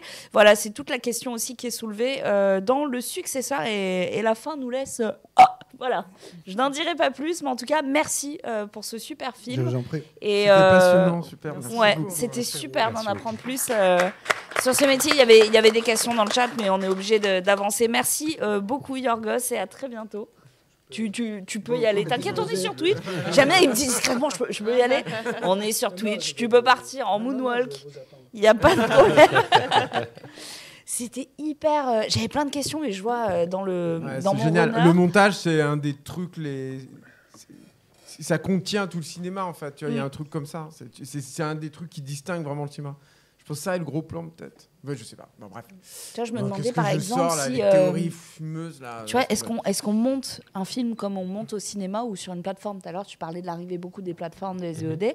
Est-ce qu'on on a la même démarche? Tu vois, j'avais plein de questions, mais Bah, c'est pas ça, c'est que le- sur les plateformes, t'as plein de mecs qui viennent derrière et qui te disent Ah non, mais le plan, faut pas faire comme ça, faut pas. Puis avec Puis le ça, numérique, aujourd'hui, tu peux faire plein de ça. changements très vite tout de suite. Donc Ouais. les, les gars, ils te font faire des changements en permanence. Tu vois, ils te font changer des acteurs en post-prod, tout ça. Il y a, y un côté moins, moins artistique peut-être dans les productions des, des plateformes. Plus marketing Ça peut-être. dépend. c'est- Si Ouais, ça si t'es dépend, Alfonso ouais. Cuaron et puis que t'arrives et que tu dis Bon, je, je, voilà, il Je fais ce que je veux. Oui, oui, il le laisse tranquille et tout. Tu vois, Fincher, il le laisse tranquille. Ils ont le director Scott. Mais, euh, mais oui, oui, bien sûr. Et euh, sur les autres, euh, Ouais. ils ont une charte, mais après, tous les studios, hein, c'est- c'est tout à fait particulier. Hmm. Bref. On, on va passer à la suite. On a le jingle carte blanche et on va donner la parole à notre streamer invité, Maxime. Jingle. Je me lasse pas de cette jingle. La régie a changé. je tourne le visage, je vois un visage. Je me dis, euh, attends, euh, Lucie. C'est incroyable. Lucie a pris place dans la régie. J'ai Euh, une réponse au fait pour ta question de tout à l'heure. Dis-moi. Ah, j'ai j'ai- j'ai pris toute la séquence pour réfléchir. Je me suis dit, si, le prochain film que je vais voir, c'est Dune. Ah oui, ah, je vous dis, attends, quelle question? Ouais, parce que je me suis dit, attends, mais je vais me faire 10 000 ennemis. Là, je viens dans une émission ciné et je dis que, et je dis que j'ai rien qui me vient en tête. Non, mais tu pourrais ne pas avoir d'attente. Et, euh, et du coup, si, j'ai j'ai très hâte de voir la deuxième partie de Dune. Effectivement, Dune avec Chalamet. Et c'est le moment de te poser plein de questions, euh, notamment ta. BO préférée. BO préféré, euh, je pense que c'est Le Roi Lion. Ok, euh, nous on avait noté Pirates des Caraïbes. Ah, les deux. J'ai Très dû bien. hésiter. Bah c'est super. J'ai dû hésiter, mais ouais, c'est vrai que Pirates des Caraïbes, euh, je sais pas, c'est un truc qui qui est resté en fait, euh, Mm. que, dont tu te souviens euh, Hyper euh, épique, dans le hyper, temps. Et euh, d'ailleurs, il y a énormément de gens qui pensent que c'est Hans Zimmer alors qu'en fait c'est Klaus Godelt. Enfin, en tout cas sur les thèmes les plus connus, les premiers. Et après, je crois que c'est Hans Zimmer qui a repris. travaillé, à ils de- travaillent avec de des ce trucs. Ils ont fait le Ils ont premier. travaillé ils ont- ensemble quand Ils même. ont fait 15 jours parce que je crois que c'était. Je me demande si c'était pas Alan Silvestri qui s'est fait. Il y a un- en tout cas, il y a un compositeur qui s'est fait virer. Ils ont bossé pendant 15 jours et du coup, si ça t'intéresse, et un doc était passé sur Arte où tu avais euh, euh, John Carpenter, le réalisateur, avec Franca Potente, l'actrice allemande, en fait, qui, qui faisait le tour comme ça euh, à Los Angeles de nuit parce que c'était des trucs sur les villes de nuit. Je crois que c'était ça. Le... Tu l'as vu ça, le, ce, Ça ce doc, chose, ouais. et à, et à un moment, ils arrivent justement à Mediaventure, donc la boîte de Hans Zimmer. Ils étaient en train de tous de bosser comme des furieux en fait sur la musique de Pirates des Caraïbes parce qu'ils devaient livrer dans des temps absolument euh, hallucinants quoi en fait. le Et elle est iconique. Hein, euh, la Ouais, et surtout, il n'y a pas, il y a pas qu'un seul son que Ouais. tu connais. En fait, tu peux t'écouter toute la BO et t'as- bah, c'est- c'est- chaque son va te rappeler un moment du film euh, particulier et tu es capable de, de te les meumer euh, dans la tête en, en écoutant le son. Ça, c'est vrai que ça, Pierre des Caraïbes, j'ai aussi, euh, moi, j'ai adoré le thème principal d'un film qui, je sais pas si c'est un film que les cinéphiles trouveront marquant, mais j'ai adoré le thème principal de Pacific Rim Qui est vraiment Ah, gros son euh, rock avec euh, Tom Morello, je crois, qui fait la, la guitare. Je trouve que ça marche trop bien. Tu sais, c'est, vraiment. juste le film est chambé. Enfin, Mais pardon, le film est hein, incroyable, hein. Pacific Rim, c'est génial. hein, C'est, ouais. c'est assumé à fond le côté, euh, c'est un blockbuster et on vous le dit rien que dans la musique et, Mm. et- et c'est parti. Il y a une reprise du thème de Godzilla de Akira Ifukube qui est cachée dans, dans ce thème. Ah ouais? Ah ouais? Ouais, dans le tempo, ouais. Ok. Incroyable. Ah. J'irai écouter. Ah, Il est trop fort. Et le roi lion, le 1 ou le 2 Le 1, le 1, euh, le 1 plutôt, mais c'est pareil, c'est réunir euh, autant de grands noms dans une BO pour un, pour un dessin animé. Et c'est pas une insulte de dire un dessin animé, mais je pense qu'à une certaine époque, on pouvait se dire Oh, bah c'est pour les enfants, c'est pas grave. Ouais. Tu vois, on peut faire des trucs nuls. Et, et là, non, en fait, t'as as Elton John, t'as Hans Zimmer, et il n'y a rien acheté dedans. Et tu fais Ok, bah là, on a, on a respecté les enfants, et du coup, bah. Euh, bizarrement, ça devient quelque chose qui reste et qui traverse les âges. Quoi. Ouais, Après, il y avait euh, Whitney Houston, Mariah Carey sur le Prince d'Égypte. Mais bon, tu peux pas être parfait. Un film que tout le monde aime, mais toi, pas trop. Qu'est-ce que j'ai répondu à ça? Que tout le monde aime, mais moi pas trop? Je me souviens plus ce que j'ai répondu. Aide-moi. tout le monde est en mode c'est un truc de fou. Ah si. Il y a des Si, nains et des elfes. Ah, euh, mais alors ça, le Seigneur des Anneaux. tu me dégoûtes. Je suis désolé, je suis désolé. Tu me dégoûtes. Donnez-moi des bonbons parce que j'ai besoin de sucre. Comment tu ne peux pas aimer le Seigneur des Anneaux? Évidemment, je trouve pas que ce soit spécifiquement mal réalisé ou quoi. C'est, même le, le- le fond de l'histoire euh, est cool, mais juste globalement, je trouve ça. Le fond de l'histoire. Seulement Le le fond de l'histoire. Seulement le Mais fond. parce que rafraîchissant. Mais l'univers, l'univers, il est, il est dingue. Mais j'ai trouvé, et d'ailleurs comme le livre, hein, que j'ai, pas réussi à lire en entier parce que dès le début, je, je- c'était trop mou pour moi. Si vous voulez le C'est huer trop dans la mou. salle, n'hésitez pas. Vous avez le droit de huer. Hein, vous avez- pas. Vous pouvez, il y a pas de problème. Je, ouais, je trouve ça trop lent, je trouve ça, je, je trouve ça lent, je trouve ça mou. euh, j'ai l'impression que tu- le film il pouvait tenir en deux.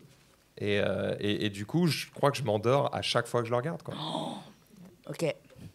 Ça faisait du cœur. Ça faisait du Ah, ça faisait mal, ça faisait mal. Euh, En même donc- temps, la question c'était qu'est-ce que tout le monde aime Ah et bah que je ouais, déteste. ouais, ouais. C'est répondu un truc que tout le monde aime. Mais vous avez droit aussi, hein, un truc que tout le monde aime et que vous, vous avez détesté. Euh, Dune 2, je l'ai pas vu, mais. Non. non, mais j'aime pas Dune. euh, voilà. Ah ouais? J'aime pas du tout, moi. euh, je, je trouve qu'il est complètement surestimé. Euh, euh, Denis Lamalisse, là. Je, j'aime, j'ai- je, voilà, j'aime pas du tout ça. Ok. Eh bien, il est avec nous ce soir. On Il est avec Non, mais nous. voilà, je, voilà, je sais que c'est pas bien vu en ce moment de, de Ok. pas aimer ce mec-là, mais voilà, j'aime. Bref. Et toi, Vesper? Je- Là, tu me prends, tu me Oh, prends arrête. dépourvu. Ah, des films que je trouve surcotés, il y en a plein, mais là, bah lequel ouais, bah attends. Non, mais qu'est-ce que je pourrais quoi. dire? Bah non, mais attends. Ah bah oui, mais euh, oui, non, moi j'ai j'ai plus tendance à, à aimer les, les vilains petits canards. C'est plus ça mon. Ah ouais, J'aime bien ouais. trouver le truc Amour. qui. euh, bah, Voilà. Non, mais j'aime bien trouver le, le petit truc sympa dans un film qui va même être, euh, voilà, pas forcément, euh, Alors, comme- pas forcément bon, tu vois.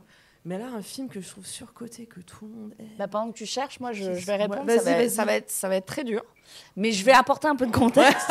Citizen. Kane. j'ai Mais attention, il reste un peu d'eau dans mon verre. bah, c'est Retour vers le futur, pardon. Non, ça va. C'est vrai, t'avais Bah, pas aimé J'ai trouvé ça. Non, mais euh, tu l'as découvert, on parlait et tout. Oui, voilà, mais je l'ai découvert à C'est 34 pas bien. balais, Bah euh, non, tout mais était attends, vieux. faut euh, parler, oh là là. c'est- Il faut pas voir un film comme ça. Voilà, je l'aurais Faut vu très un jeune. Je pense qu'il y aurait eu quelque chose. Ouais. Mais bon, euh, quand tout le monde s'excite dans une convention en disant c'est un je suis en mode ouais, enfin, c'est un skate quoi. Mais bon, un peu rien à foutre. J'ai trouvé Ah. Dis-nous. les Goonies.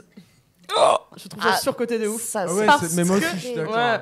Je veux pas, mais je l'ai pas, je l'ai pas vu enfant. Donc Ok. moi, j'ai pas cette, anti- cette euh, identification qu'ont eu plein d'enfants en voyant la bande de gosses et en se disant oh là là, je veux trop être leur copain et tout. Moi, j'ai juste vu un film chiant. Voilà. Je suis pas un fan de Richard Donner, le réal, euh, surtout. J'adore euh, son Superman, le premier, je trouve que c'est magnifique ce film.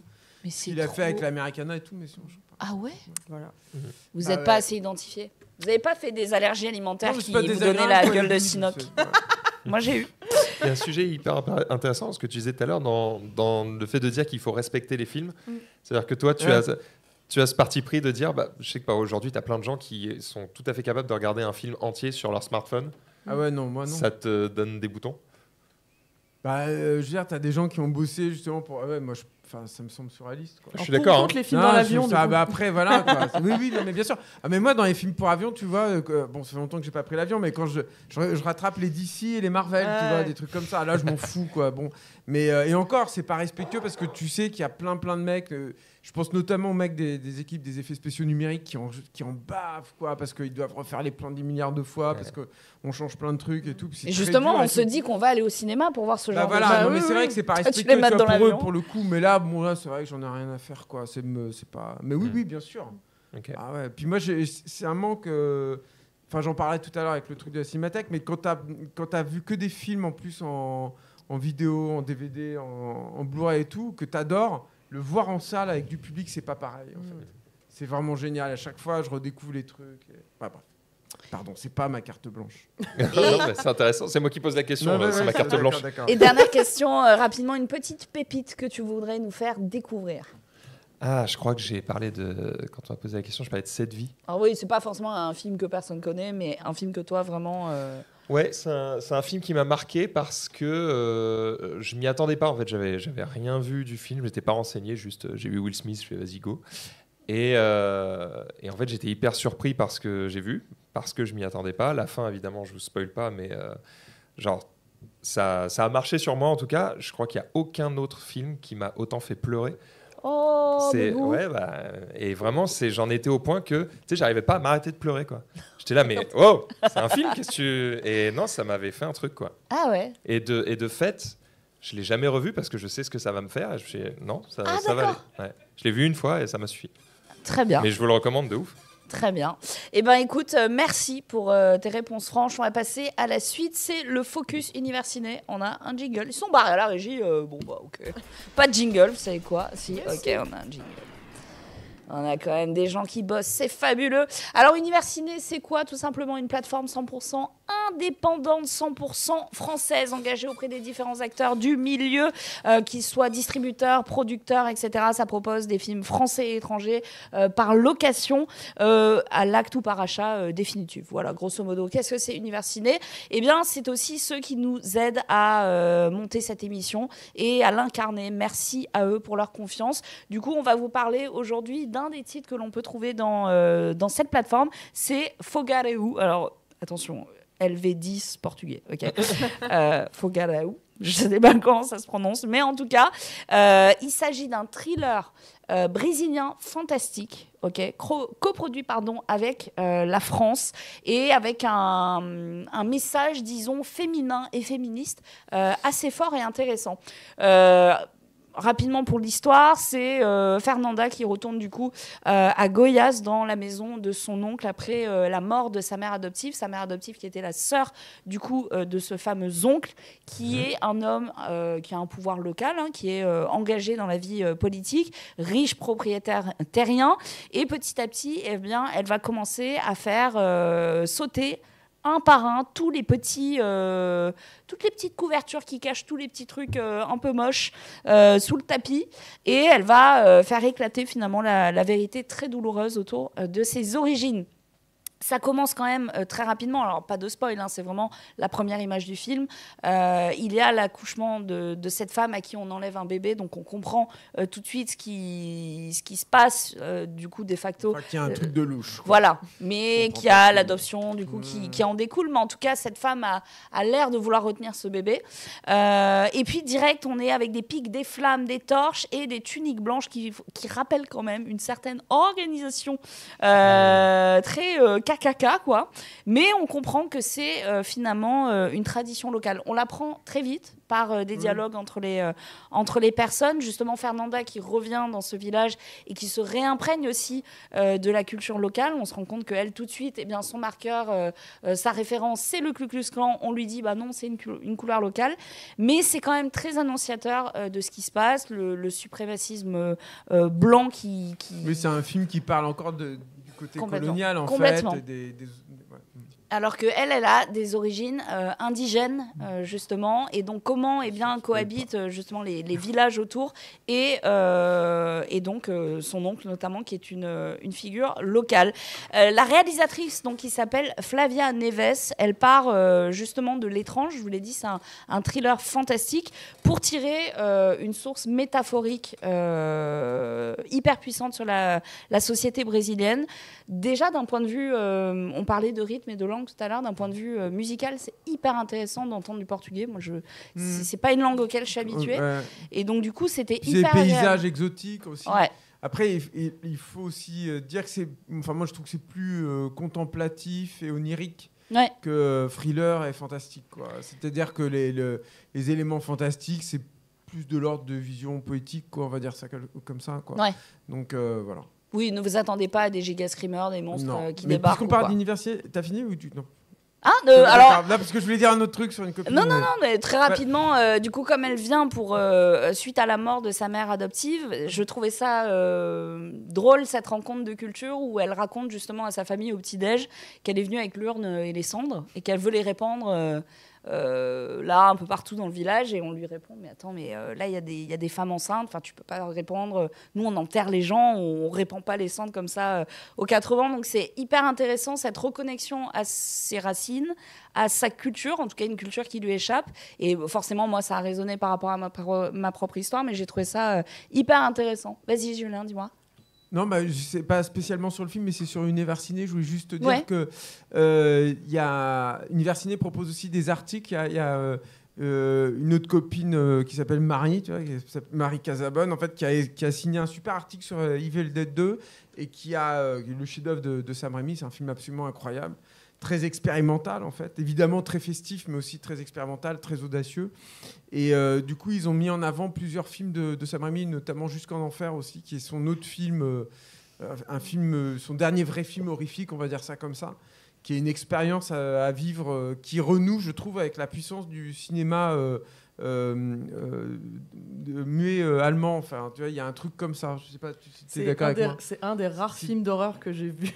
Et en plus, je l'ai vu au cinéma, ça m'a traumatisé. Ouais, c'est traumatisé très, des chèvres, traumatisé de tout. C'est presque du cinéma expressionniste, voilà, c'est ça. Il y a dans, dans un truc de, de, de rapport au corps, à la violence et au machin, alors que c'est pas très gore, c'est même pas gore du tout, quoi. Mais voilà, c'est étonnant et vous pouvez aussi trouver C'est ça sur Univers gore. Ciné. C'est pas très gore, mais c'est Non, très c'est crade. pas gore, oui, c'est Ouais, crade. très ouais. crade. Ah oui, ça Ouais, te dit, c'est ah, mais fais pas ça C'est chouette quand on fait ça. Bref, voilà. eh ben écoute c'est Comme on parlait euh, d'Univers Ciné, je vais juste mettre ça en avant. C'est très bien de boucler ça, on les remercie encore une fois et il est l'heure de passer à la suite, c'est le flashback et c'est toi qui t'y colle. Julien, on a Ah un ouais jingle. Vous allez m'aider, non? Mais zoomez sur sa tête un peu là, c'est- je suis là, je suis énorme euh, en 16 neuvième, c'est euh, c'est terrible. Là, pareil, il prend ce qu'il voit, Marie. euh, Écoute, euh, tournez la cam. Non, non, non, non. Euh, Whiplash. Oui. Donc c'est le premier film de Damien Chazelle, euh, qui est un film, euh, moi que je trouve euh, vraiment admirable. Quoi. C'est vraiment, euh, je, je me souviens que, en fait, ça fait partie quand même des trucs quand tu les vois. Tu dis bon là, il a, lui, il faut que je le suive quoi. Il m'a pas déçu euh, par la par la suite.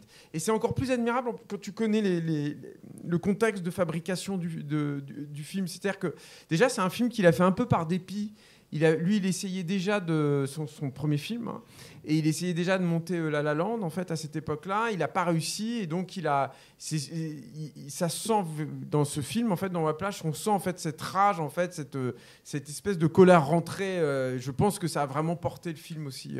Ensuite, il s'est inspiré lui-même de son son expérience dans les. Alors c'était à Princeton, je crois Ouais. qu'il était Ouais. qu'il était dans un, groupe comme ça de de, de, musique de jazz en fait et euh, il avait la pression d'un professeur qui était euh, très dur alors pas aussi dur que ce qu'on voit dans le film c'est vrai que j'ai pas pitché le film en fait l'histoire juste pour la faire euh, grosso modo c'est à la fois il y a un petit côté comédie musicale moi je trouve dans dans, dans Whiplash mais pas du tout comédie musicale comme on l'entend d'habitude euh, plus comédie musicale dans, encore une fois dans la colère rentrée. C'est-à-dire que le jazz en fait sert à euh, en général, la comédie musicale, le moment où il y a la, la chanson éclate, c'est que les sentiments des personnages sont tellement énormes que il- la, la réalité ne leur suffit plus. On va dire ça comme ça. Tout à coup, il sort de. Le, Jen Kelly sort d'une nuit euh, géniale, etc. Et puis il se rend compte que tout, tout va bien, qu'il est amoureux et tout. Et hop, il se met à chanter sous la pluie à- et à danser parce que c'est tellement fort, C'est tellement fort, il puissant faut que ça sorte, sort, voilà. Et là, c'est pas ça, Whiplash. Whiplash, la musique, ça te rentre en fait là-dedans. Et en fait, tu sens que les gars, en fait, il faut qu'ils réussissent à s'exprimer par la musique. Et c'est de la musique, euh, c'est presque une musique, comédie musicale contrariée. Puisque donc, le, le truc, c'est un duo entre un élève et un, et un prof qui est absolument abject, dur, qui est hein. vraiment monstrueux. Et d'ailleurs, Damien Chazelle, quand il dirigeait euh, J.K. Simmons, qui joue ce professeur, il lui disait il faut, il faut que tu perdes toute humanité, en fait. Il faut que tu le joues comme si tu une gargouille, un monstre, quoi. Donc c'est un film de monstre aussi, ça c'est bien.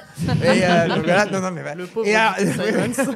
mais euh, et, et donc en fait c'est un, truc contrarié, c'est-à-dire que pendant tout le temps il essaye de jouer un morceau, l'autre l'interrompt, lui dit c'est de la merde et tout machin avec des- un, un langage très fleuri, peut-être le langage le plus fleuri qu'on ait vu depuis euh, Full Metal Jacket, je sais pas moi. c'est- voilà, il y a des insultes absolument. L'autre, c'est Miles. Taylor, du coup. hein. Ouais, c'est Oui, Miles. Taylor, exactement. Et donc c'est un, et donc c'est euh, comment tous les deux euh, vont réussir à trouver un point d'accord, quoi, sans mauvais jeu de mots. Et surtout, et ça c'est le thème qui traverse tout, à mon sens, hein, toute la l'œuvre euh, naissante quand même de Damien Chazelle, c'est la- beauté et le, et le, le cauchemar de la passion. C'est-à-dire euh, quand quelqu'un est complètement passionné, en fait, à quel point ça peut le dévorer, à quel point ça peut l'amener même à, à- à se déshumaniser, en fait. C'était même le cas dans, First Man et tout. Et, euh, mais à quel point aussi ça permet de se sublimer, de produire des choses qui sont absolument sur- surhumaines, quoi, quasiment. Et bon, je vais pas spoiler Whiplash, mais c'est aussi ça, clairement, en fait, cette histoire. Donc euh, voilà.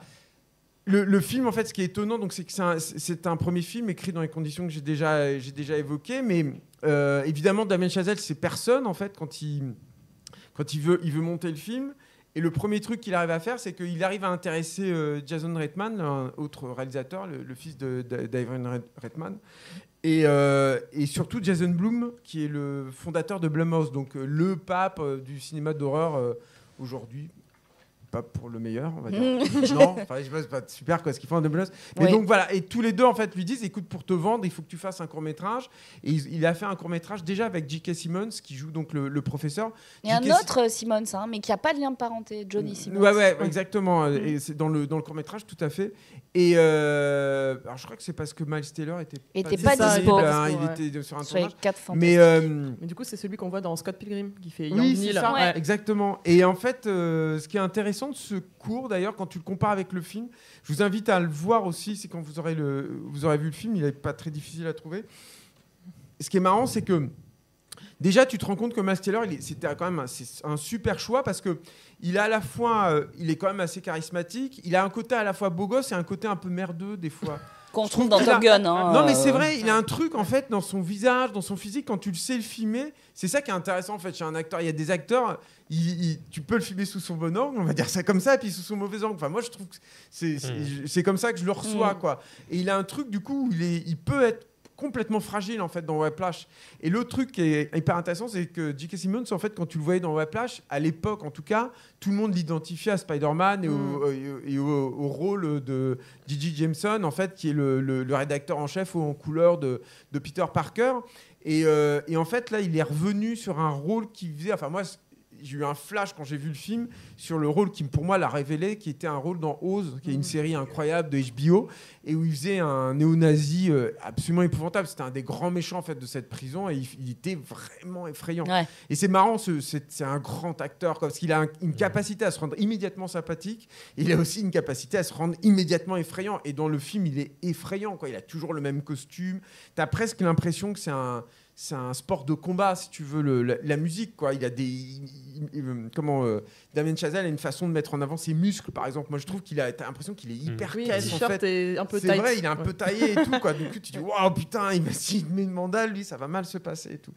Et, euh, et donc, il fait ce cours, il remporte plein de prix, et- etc., Damien Chazelle, et il réussit à monter euh, euh, White Plash, mais avec un budget minuscule. Hein, c'est 3,3 millions. 3 millions de dollars. voilà. mais c'est- Ils en ont et- récolté 49. hein. Ouais, c'est ça. Mais c'est surtout, moi, ce qui m'hallucine le plus, le budget, c'est une chose, finalement.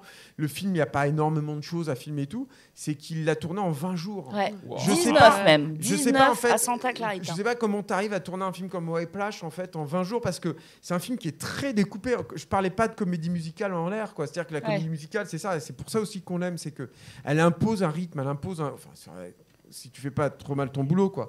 Elle impose un, un- un découpage très précis. Et Damien Chazelle a déjà ça. C'est-à-dire qu'il a notamment un truc sur les, les focales, en fait, sur la, les inserts des, des, des cymbales, en fait, et tout.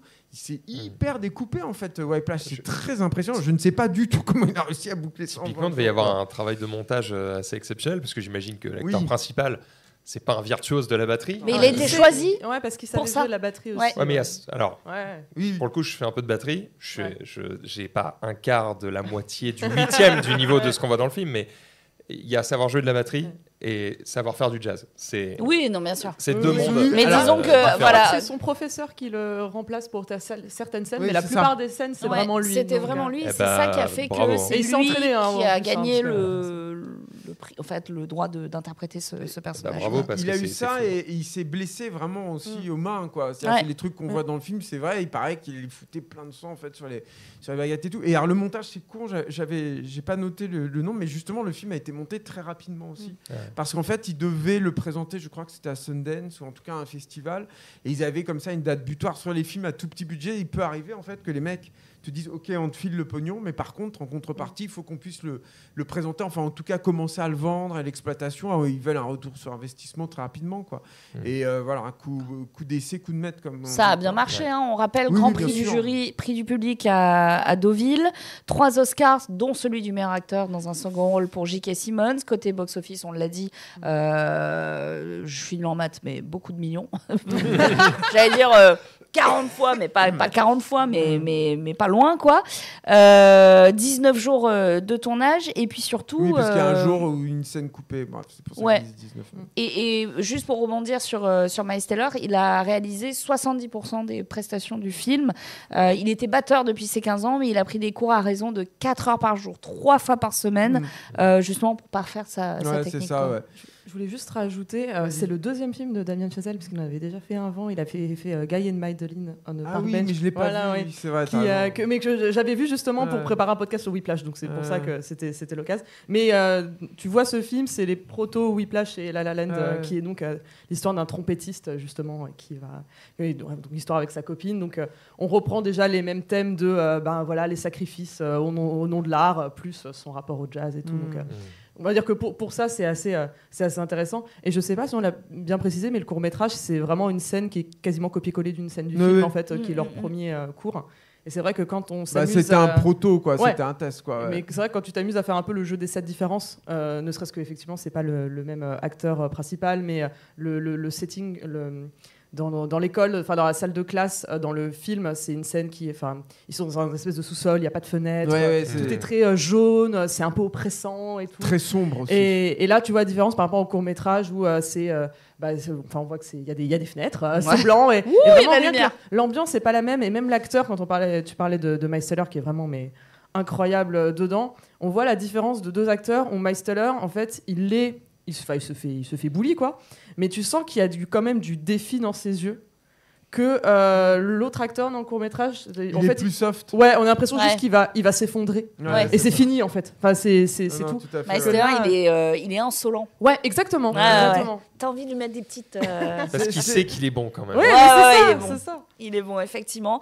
Et, euh, et je sais pas si on l'avait dit, mais c'est un petit peu autobiographique puisque Damien Chazelle Oui. lui-même Si, si, voilà, faisait partie d'un d'un groupe de jazz. Quand Pour moi, ce, ce- ce film, il y a quand même un truc qui est intéressant, c'est que quand tu en ressors de la salle, il y a deux manières de le voir. Tu as Mm. ceux qui disent, euh, euh, ok, le, le- son prof, euh, c'est vraiment un sombre connard. Mm. Et, et moi, à l'inverse, quand je suis sorti, je me suis dit, bah ouais, son prof, c'est juste le meilleur en fait. Et tu as vraiment ce côté de dire, est-ce que la fin justifie les moyens? Et tu en as certains pour qui la réponse va être, bah non, en fait, entre guillemets, il n'avait pas besoin de ça pour être le meilleur. Et d'autres qui vont dire, bah en fait, s'il n'avait pas eu son prof, il n'aurait il jamais atteint ce niveau-là. Et donc, cette ambivalence de est-ce que je dois le remercier ou lui, dire- ou lui dire d'aller se faire foutre Ouais, le côté Mais en fait, détruire t'as pour pas de réponse. C'est les deux. T'as jamais de réponse et lui il continue à jouer toujours sur cette tension-là en fait. Oui, hein, Chazelle, à mon sens. hein. C'est de considérer si en fait il a gagné ou il a perdu en cédant en fait et en réussissant euh, son morceau. Après, euh, je crois que Chazelle a quand même dit que si on, si on lui posait la question à lui, il préférait être avec sa meuf euh, et vivre sa meilleure vie plutôt que de vivre euh, la vie euh, du, du personnage de, de Miles Teller. Mais euh, c'est vrai que je Tu crois que ça, toi? Moi je me dis que ce mec-là il doit, il doit. Non, mais vu les autres- pour- de l'in- de, de l'intérieur. en Quand fait, on voit le reste de sa filmographie, je suis pas très d'accord effectivement Oui, avec ouais. ça. Il a pas réglé le, il a pas réglé le quand, problème, quand on voit. First Man et quand on voit le reste, il est vraiment obsédé par cette idée de, de, de, bah, de l'excellence et des, des Ouais. sacrifices que ça, ça sous-entend. Mais effectivement, c'est un très bon test quand on parle avec des gens qui ont vu le film et de voir comment ils, comment ils justifient ou pas euh, les, a- les actions euh, Ouais. du, du prof. C'est un bon baromètre. hein. Ouais, effectivement, hein, mes potes qui à l'époque euh, faisaient aussi des disciplines très dures Mm. me disaient bah, se faire détruire pour se reconstruire derrière. euh, c'est, enfin, moi, je trouve ça absolument abominable, mais Ah je ouais, peux moi comprendre. ça, peut être moteur aussi pour certains. Euh, il est l'heure de passer à l'OFNI. On a un jingle. Zoomé sur quelqu'un d'autre que moi. Pitié. Tout le monde. Très bien. L'OVNI, c'est Vesper qui euh, s'en charge avec euh, eh bien, la couleur pourpre et les comédies musicales. Oui, effectivement. Bah, en fait, on en parlait. Donc, je parlais de Mean Girls euh, au début de, au début de l'émission, mais euh, ce n'est pas le seul film récent qui, en fait, était une comédie musicale, alors qu'en fait, bah, on savait pas trop que c'était une comédie musicale. Donc, La couleur pourpre, que je, je pense que le, l'adaptation la plus connue, c'est l'adaptation de, de- de Spielberg euh, euh, 84, je vais, pour pas de redire de bêtises. Euh, 82. Euh, 80 ah non, euh, Non, non. 80 Non, 82 c'est le le roman, roman. ça. 85, voilà, 85. On y était. Euh, donc à la base, donc effectivement, c'est un, c'est un roman euh, et donc euh, l'autrice a vendu euh, les droits. euh, donc elle était consultante pour le film, pour le film de Spielberg qui est adapté, euh, que tout le monde connaît, euh, tout le monde a pleuré, et c'était c'était très triste. Et donc euh, il a été C'est et vrai, comme hein. et comme Mean Girls, et vous ne pensez pas que j'allais trouver un point commun entre euh, Couleur pourpre et Mean Girls, euh, il a été adapté en comédie musicale. Euh, à Broadway, je vais, retrouver l'année aussi parce que j'aime bien être précise. Euh, en comédie musicale en 2005. Voilà. Et, euh, encore une fois, c'est la comédie musicale qui a été adaptée euh, pour, ce, film qui est là sorti mi-janvier. Et c'est vrai que quand on entend parler de la couleur pourpre, euh, on ne on pense pas à comédie musicale en premier, euh, surtout vu un peu la- la- les, les- les l'his- thématiques ouais, l'histoire, euh, voilà, l'histoire qui est assez, assez, assez triste. Et, et comme on a forcément en plus une vision de comédie musicale de quelque chose de, de- de- de très joyeux, qui peuvent un peu être déconnectés euh, des scènes. Et, et au contraire, je trouve que ça donne des micro-moments de respiration entre deux moments où on a envie de mourir parce que c'est très triste. et que c'est c'est vraiment ça, ça, prend, euh, ça prend vraiment au trip. Et euh, donc d'un côté, donc, je trouve ça assez cohérent pour un peu euh, relever les scènes. Et de l'autre, bah, le film d'époque, enfin le film d'époque, le film de Spielberg, la musique était composée par Quincy Jones qui avait produit le film. Il y avait quand même le rôle de justement Shug Avery qui est une chanteuse. À la base, il avait été proposé à Diana Ross, à Tina Turner, enfin voilà, quand même à des personnes, euh, euh, enfin voilà, des très grandes chanteuses. Donc on est, on est quand même, on est quand même dans, dans la, dans la, dans la thématique. Donc au final, ça reste. euh, au final, c'est cohérent en fait quand on y pense un, quand on y pense un, un minimum. Quincy Jones d'ailleurs et Oprah Winfrey, donc qui jouaient dans le, dans le film original, produisent euh, celui-là avec Ouais. Spielberg. Donc euh, voilà, la boucle, la boucle est bouclée. Donc je le conseille, je le conseille vraiment. C'était vraiment. c'était vraiment très chouette de le revoir, de le revoir là. Et là, dans la nouvelle mouture, on, on voit aussi, euh, bah, il y a Hailey Bailey qui euh, jouait Ariel dans la- l'adaptation, la, dernière adaptation live de la Petite Sirène. Enfin, il y a aussi d'autres euh, d'autres chanteuses qui sont qui sont qui sont dedans, qui sont vraiment incroyables. Et euh, bah, ça fait partie effectivement des surprises de, euh, bah, en fait, c'est une comédie musicale euh, Qui n'enlève rien au, au côté aussi tragique. hein, de- de Évidemment, voilà. Donc en fait, oui, ça reste, ça, ça- comme je dis, c'est vraiment des moments de respiration. Ça ne rend Ouais. pas le film moins dramatique. C'est assez, c'est assez bien, bien géré. Et, et c'est vrai que celui-là, je les compte un peu dans une trilogie entre celui-là, Mean Girls et Wonka. euh, qui était donc le préquel de Charlie et la chocolaterie, euh, qui est sorti au mois de, au mois de décembre euh, de Paul King, qui est réalisateur de deux excellents films qui sont Paddington 1 et 2, que si vous n'avez toujours pas vu, Mais je oui, vous recommande plus que chaudement. Euh, qui est aussi une comédie musicale. Et pareil, en fait, ces, ces trois films-là, euh, soit dans le trailer, il n'y avait absolument aucune mention euh, de chanson, euh, soit euh, c'était de, fait de manière un peu plus euh, discrète, ou sinon, bah, de toute façon, tout le monde ne regarde pas tous les trailers, donc on peut aussi passer à côté de l'information. Donc c'est des films qui n'ont pas du tout été marketés euh, comme des comédies musicales. Et je, en fait, dans un, il y a eu un article euh, de, il y a Deadline qui s'est posé la question là, j'avais vu au mois de décembre sur ce sujet, sur bah pourquoi, pourquoi, pourquoi faire ça en fait, pourquoi agir ainsi? Et tout simplement, en fait, ils ont fait des tests auprès de panel et le, le- bah, les, les gens répondaient, bah en fait, c'est une comédie musicale, j'y vais pas. Parce que, C'est euh, drôle, hein. parce que c'est niais, parce que euh, c'est pas réaliste, euh, parce que voilà, pour euh, mille et une raisons. Donc, euh, en fait, euh, voilà, en gros, à chaque fois au service marketing, on se dit, bah en fait, on va, euh, on va induire en erreur. C'est pas vrai, ils vont voir la La Land. ils vont- Mais oui, non, mais c'est ça en plus, Allez, c'est qu'on a. hein, mais c'est comme les biopics. Hein, euh. Ouais, ouais, mais en Avec plus, on, Showman, ça a marché. on a eu, ouais, ça a bien marché, Greta Schumann. Mais on a eu une recrudescence de, de comédie musicale. La comédie musicale, on a eu beaucoup de, de hauts et de bas. On a quand même eu un push aussi quand il y a les Misérables pour le meilleur comme pour le pire, euh, quand on entend les prestations des acteurs. Euh, mais c'est vrai que ça reste euh, maintenant connoté négativement par rapport à l'âge d'or des comédies musicales qu'on a pu qu'on a pu avoir il y, y a quelques années. Et je, je trouve ça un peu dommage parce que, bah, en fait, il y a plein de gens qui vont aller voir le film et qui, euh, bah, du coup, vont détester. Vont pas, enfin, ceux qui détestent les comédies musicales ne vont pas passer un bon moment, en fait. hein. Donc, euh, dans tous les cas, euh, s'ils veulent, s'ils viennent voir ces films, ils vont, ils vont vraiment mal le vivre. Donc, je trouve ça, enfin, je trouve ça pas très malin. Après, apparemment, ça a quand même porté ses fruits vu que Wonka est un, enfin, est un énorme succès. Donc, euh, tant mieux, euh, tant mieux pour eux. Chalamet, des bonbons. Voilà, Euh, voilà. Je, je pense que c'est le côté. Ça peut chanter Voilà. autant qu'il veut. Film de euh, Noël, voilà, film de Noël, euh. Chalamet, euh, voilà, encore une fois, en plus. euh, Chalamou. Oh, euh, Ah, dis mais donc, hein. non, mais c'est pas grave. Ouais, le- Allez, les là. Vraiment, t'aimes pas d'une. Mais Hein. non, mais- donc, euh, donc c'est vrai qu'on a, on a toujours eu des, comé- des comédies musicales euh, incroyables et c'est vrai que au final, récemment, le, le meilleur exemple, ça reste La La Land, mais La La Land qui est lui-même un exemple d'un autre âge d'or des comédies musicales. Donc, euh, voilà, c'est à chaque fois hein, le cycle d'un éternel recommencement. Mais voilà, on a quand même eu un tir groupé en quelques, en C'est quelques vrai. semaines qui m'a qui m'a vraiment, qui m'a vraiment surprise. Donc, euh, faites qu'on ait euh, d'autres comédies musicales. C'est vrai que je vois que le, le chat parle de West Side Story, par exemple. Et West Side Story, euh, par exemple, ça, ça, Ça a marché. Euh, Après, pour d'autres euh, pour d'autres raisons. Hein.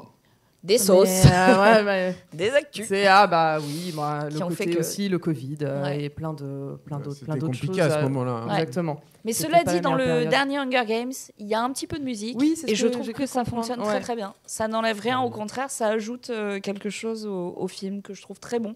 Euh, eh ben, écoute, merci. On ira le voir puisque c'est déjà disponible euh, Oui. en salle. Allez-y, allez-y. C'est une bonne ambiance. Max, tu avais vu La couleur pourpre? Non, pas du tout. Rapidement, euh, Célie est une jeune, euh, voilà, une jeune femme noire des années 30, euh, très pauvre, euh, sans éducation en Géorgie, aux États-Unis, kidnappée euh, par un homme qui la mettrait enceinte deux fois. Bonne ambiance. Et ben, va voir Ils arrivent à chanter cinéma. là-dessus. Ils arrivent à chanter là-dessus. C'est en ça qu'il faut aller voir. C'est pour Non, ça, ça va, il y a c'est des chansons gospel, me il y a dit des la chansons, Julien. c'est quand même un peu différent. Voilà. Bon, en tout cas, euh, il faut aller le voir. C'est un film magnifique. Merci beaucoup, euh, Vesper, pour cet ovni. Il est temps de passer à l'actu ciné. On a un jingle, s'il vous plaît. Ah oui, merde. Alors là, on nous dit d'aller très vite là-dessus. On va parler des festivals, des livres ciné, des sorties vidéo, bref, de tout ce qui va nous faire kiffer dans les jours, les semaines, voire les mois à venir, mais plutôt les jours. hein. On est euh, dans l'actu. Euh, je vais commencer avec les mycéliades. Est-ce que vous savez ce que c'est? Oui. Voilà. Là, comme ça, euh, regardez, je me suis mis un petit lien. Je vais l'ouvrir tout de suite sur Internet et tricher. Parce que c'est un festival qui rassemble à la fois euh, le cinéma, le jeu vidéo, euh, la littérature, à travers la thématique eh bien, du voyage. Le voyage dans le temps, le voyage à l'intérieur de nous-mêmes, les voyages spatiaux. Donc vous aurez du interstellar, vous aurez des conférences données par des vidéastes, par des, tous des, des- des grandes figures aussi eh bien, de la pop culture. Rassemble aussi euh, les amateurs de BD. euh, euh, voilà, cinéma, livre, BD, jeux vidéo. Ça a commencé le 1er et ça termine le 15 février. C'est quand même euh, 60 couples de cinéma et de médiathèque euh, à travers la France qui vont mettre eh bien, tous ces ingrédients ensemble pour créer des voyages infinis vers des, des horizons incroyables. Je vous l'ai bien vendu ou pas? Ouais, c'est pas mal. ça manquait un bruit de harpe. On lui mettre un bruit de harpe à la fin de son, sa petite. Ah, ça, on le note pour la prochaine fois. Ah, bah. Mais en tout cas, je me suis dit, Maxildan est avec nous, on va mettre un petit peu de jeux vidéo, de voyage, un petit peu euh, dans, ce, dans cette reco. Euh, Julien, est-ce que tu as quelque chose pour nous? Oui, euh, il y, a un- il y a un site qui a été préparé par Jean-François Roger qui va commencer à la Cinémathèque, qui, sont, euh, qui propose de vous redécouvrir, redécouvrir 25 indispensables. Alors 25 indispensables se- selon Jean-François Roger, mais euh, c'est 25 indispensables, et je suis complètement d'accord avec, avec son choix, c'est super. Et 25 indispensables du film d'horreur. Donc euh, Ah. voilà, comme je disais tout à l'heure, revoir. Surtout qu'il y en a beaucoup qui vont repasser dans la salle Henri Langlois, donc à, à la Cinémathèque française, c'est la grande salle et tout. C'est quand même super de voir Alien, le huitième passager, dans la salle Henri Langlois, quoi. Je veux dire, c'est pas tous les jours. Vous pouvez voir ça. Donc il y a des, des choses qui sont très attendues. Il y a Carré au bal du diable de, de Brian De Palma, qui était la première adaptation de, de Stephen King au cinéma. Il y a euh, Les Dents de la Mer, évidemment, donc Alien, euh, L'Exorciste, Rosemary's Baby, enfin des gros, des gros classiques comme ça. Mais il y a aussi des, des, des- des films un petit peu plus anciens qui sont aussi des classiques et qui sont peut-être un tout petit peu moins connus, comme La Féline, qui est vraiment un film, euh, si vous voulez savoir d'où vient le jump scare, en fait, voilà, qui a un truc qu'on appelle aussi le coup du chat. Eh ben, allez voir La Féline, vous verrez comment, comment d'où vient le moment où on te fait sursauter en fait sur ton siège dans les, dans les films d'horreur. Il y a un film aussi de souvent qui a été souvent considéré comme bis, mais voilà, il est à la Cinémathèque dans un site comme ça, donc c'est trop bien. Vive je- Jean-François Roger, qui est l'enfer des zombies de, de, de Lucio Fulci, qui est un film donc italien, comme vous l'aurez deviné, qui est un film euh, de mort-vivant, comme vous l'aurez deviné aussi, mais hyper gore, avec une ambiance à couper au couteau. Euh, une super musique de, de Fabio Frizzi. Enfin bref, c'est vraiment un film très étonnant, très très gore. Donc, euh, pas, c'est pas pour tout le monde, quoi. Mais si vous aimez les zombies et, et les écharpes dans les yeux, allez le voir. Il y a aussi. Oh, euh, ouais, ouais, Il y a ça un va, autre film, hein. le film, en- le, le cycle s'ouvre en plus avec un, un- un super beau film en studio japonais qui s'appelle Histoire de fantômes japonais. Oui, une rétrospective. Voilà, euh, donc avec beaucoup. Quand je dis en studio, c'est qu'il y a beaucoup de décors en studio, y compris des décors d'extérieur et tout. C'est toujours, moi j'adore dans le cinéma japonais quand ils font les décors en extérieur avec de la, des fumigènes, parce que j'aime les têtes qui explosent, Marie, mais j'aime aussi les fumigènes. Incroyable. Et voilà. Des belles Et parce passions. que voilà, mais exactement, Des voilà, passions. Ça va bien plaisirs simples. On a tous bien. problèmes, hein. Exactement. c'est clair. voilà. Je vois effectivement qu'il y aura du euh, Kiyoshi Kurosawa, Oui, du, euh, du Friedkin, du James Wade, du Todd Browning, du du Cronenberg, du Diable. Wes Ah, il y a la maison du diable, mes chefs Du Brian De Palma, tu l'as dit. Takeshi Miike, audition. Oh là, petit trauma, petit trauma euh, adolescent. euh, Ah, voilà. Donc rétrospective, 25 films incontournables du film. c'est un film quand je l'ai vu, quand je l'ai découvert, j'ai regardé sous mon lit avant de me. Ah. Ouais, bah ouais, bah c'est. Ça, par exemple, c'est pas pour moi, tu vois. ça, c'est non. C'est pas J'aime très pas bon. trop. Mickey, mais ce film-là il m'avait vraiment fait peur. Quoi. Ouais, pareil. Ça pas- m'a pas plu. Rappelles le coup Vesper, du sac, Marie Le sac? Non, mais Non. vraiment toujours pas. Je vais te le rappeler tout à l'heure. Est-ce que tu as une, une reco pour Oui, j'ai une, re- j'ai une recommandation. euh, c'est un hors-série euh, Rokirama, euh, donc, Oh. euh, qui, euh, bah, vous, voilà, vous pouvez l'admirer là. euh, qui, Il était une fois Alien 3 euh, de euh, Nico Pratt, euh, qui va sortir le 22 février. Euh, qu'on salue évidemment, euh, qui on a déjà, euh, enfin chacun je pense, un, peu, un peu travaillé, et euh, qui revient bah, évidemment sur la genèse de, Alien 3 réalisée par David Fincher, genèse qu'on sait ô combien compliquée. Donc là voilà, ça va vraiment se concentrer là-dessus, et c'est un peu double reco parce que si vous avez, voilà, si vous avez vu. si Alien 3 ne vous suffit pas, il y a un autre livre sur Alien que j'apprécie beaucoup de la part aussi d'un d'un confrère qui s'appelle Alien, la mécanique de la peur, euh, chez Sœur d'édition par euh, Marvin Montes. Euh, donc là, c'est sur euh, tout Alien. Donc euh, voilà, comme ça, vous pouvez lire le premier, puis après, vous enchaînez sur le deuxième. Super, très bien, très belle roco. Max, peut-être quelque chose, un festival, ça peut être euh, du livre, euh, de la, du jeu vidéo, euh, du- des Oh, bah, cartes là, à si tu jouer. me parles de jeux vidéo. Alors attends, j'ai vu quoi? J'ai vu une série euh, récemment euh, qui était euh, Shop for Killers, je crois. Euh, je me demande si c'est coréen ou quelque chose comme ça, mais en tout cas, ça avait l'air euh, très violent. Euh. Je suis tombé sur ça un peu par hasard parce que ma femme était en train de regarder ça. Ok. Tu sais, c'est ce moment où tu regardes, tu fais Qu'est-ce que tu regardes? Puis tu restes. Puis tu devais rester 5 minutes. En fait, tu restes 30 45 minutes. Tu fais OK, c'était pas mal. Donc, euh, ça, je pense que je vais finir par rattraper Re- la série. le, le, le titre Shop for Killers, je crois. Shop for Killer, ça me parle pas, dis donc. Bah, tiens, racheter un œil. Ouais, j'ai jeté un œil surtout Et si sinon, en jeu vidéo, je viens de finir Prince of Persia de Ah. Lost Crown, qui est du coup bah, la- le nouveau Prince of Persia d'Ubisoft. Ça faisait presque 15 ans qu'ils n'en avaient pas fait. Mm. Et, euh, et franchement, je l'ai trouvé incroyablement réussi. J'ai passé un super bon moment. Et comme quoi, euh, là, j'ai l'impression qu'en ce moment, Ubisoft est, est- est sur de bons rails. Ils ont été beaucoup critiqués par beaucoup de gens dernièrement parce qu'ils avaient tendance à faire tout le temps les mêmes jeux, tout le temps les mêmes univers, euh, un peu tout le temps la même sauce, quoi. Et, euh, et là, j'ai l'impression qu'à revenir à des recettes un peu plus simples, euh, tu vois, ils ont fait un Assassin's Creed dernièrement qui était euh, pareil, plus court, plus simple, Ouais. qui allait plus à l'essentiel, qui ressemblait plus au Bah, tout c'est mieux. premier. Et en fait, euh, c'était très bien. Mm. Il n'y avait pas besoin de faire un, un monde ouvert gigantesque qu'il faut euh, 200 heures pour explorer. Là, c'était euh, 25 heures, mais c'est 25 heures de vraiment bon plaisir. Et là, ce Prince of Persia en, en 2D aussi, qui est en gameplay 2D et réalisé en 3D, euh, était super cool aussi. Et pareil, c'est 20-25 heures, mais il n'y a pas de temps mort et tu te régales pendant 25 heures. Et On peut souvenir. euh, une vidéo, euh, une VOD euh, de live Twitch peut-être euh, Ouais, il y a sûrement la, avec il Spé y a sûrement le replay euh, de la fin du jeu du coup parce que j'ai, je comptais pas le live donc je, l'a- je l'avais fait un petit peu de côté et puis en fait c'est tellement bien que j'étais en mode attends il faut que je le partage. en fait, Autant partager avec les gens. Ok, parce que Maxildan, le streamer, est à retrouver sur twitch.tv slash Maxildan. Il ne fait pas que du, du jeu vidéo, pardon, il y a aussi du jeu de société et les cartes à jouer. Exactement, sur ma chaîne Les Joueurs du Dimanche. Alors, c'est soit sur ma chaîne Twitch Mm. le jeudi et le dimanche à 16h et 21h. Et sinon, euh, toutes les rediffusions sont sur euh, YouTube. Euh, et ça, ça pop un petit peu tous les jours. Et il y a du jeu de société et du jeu de cartes à jouer. Et on fait de tout.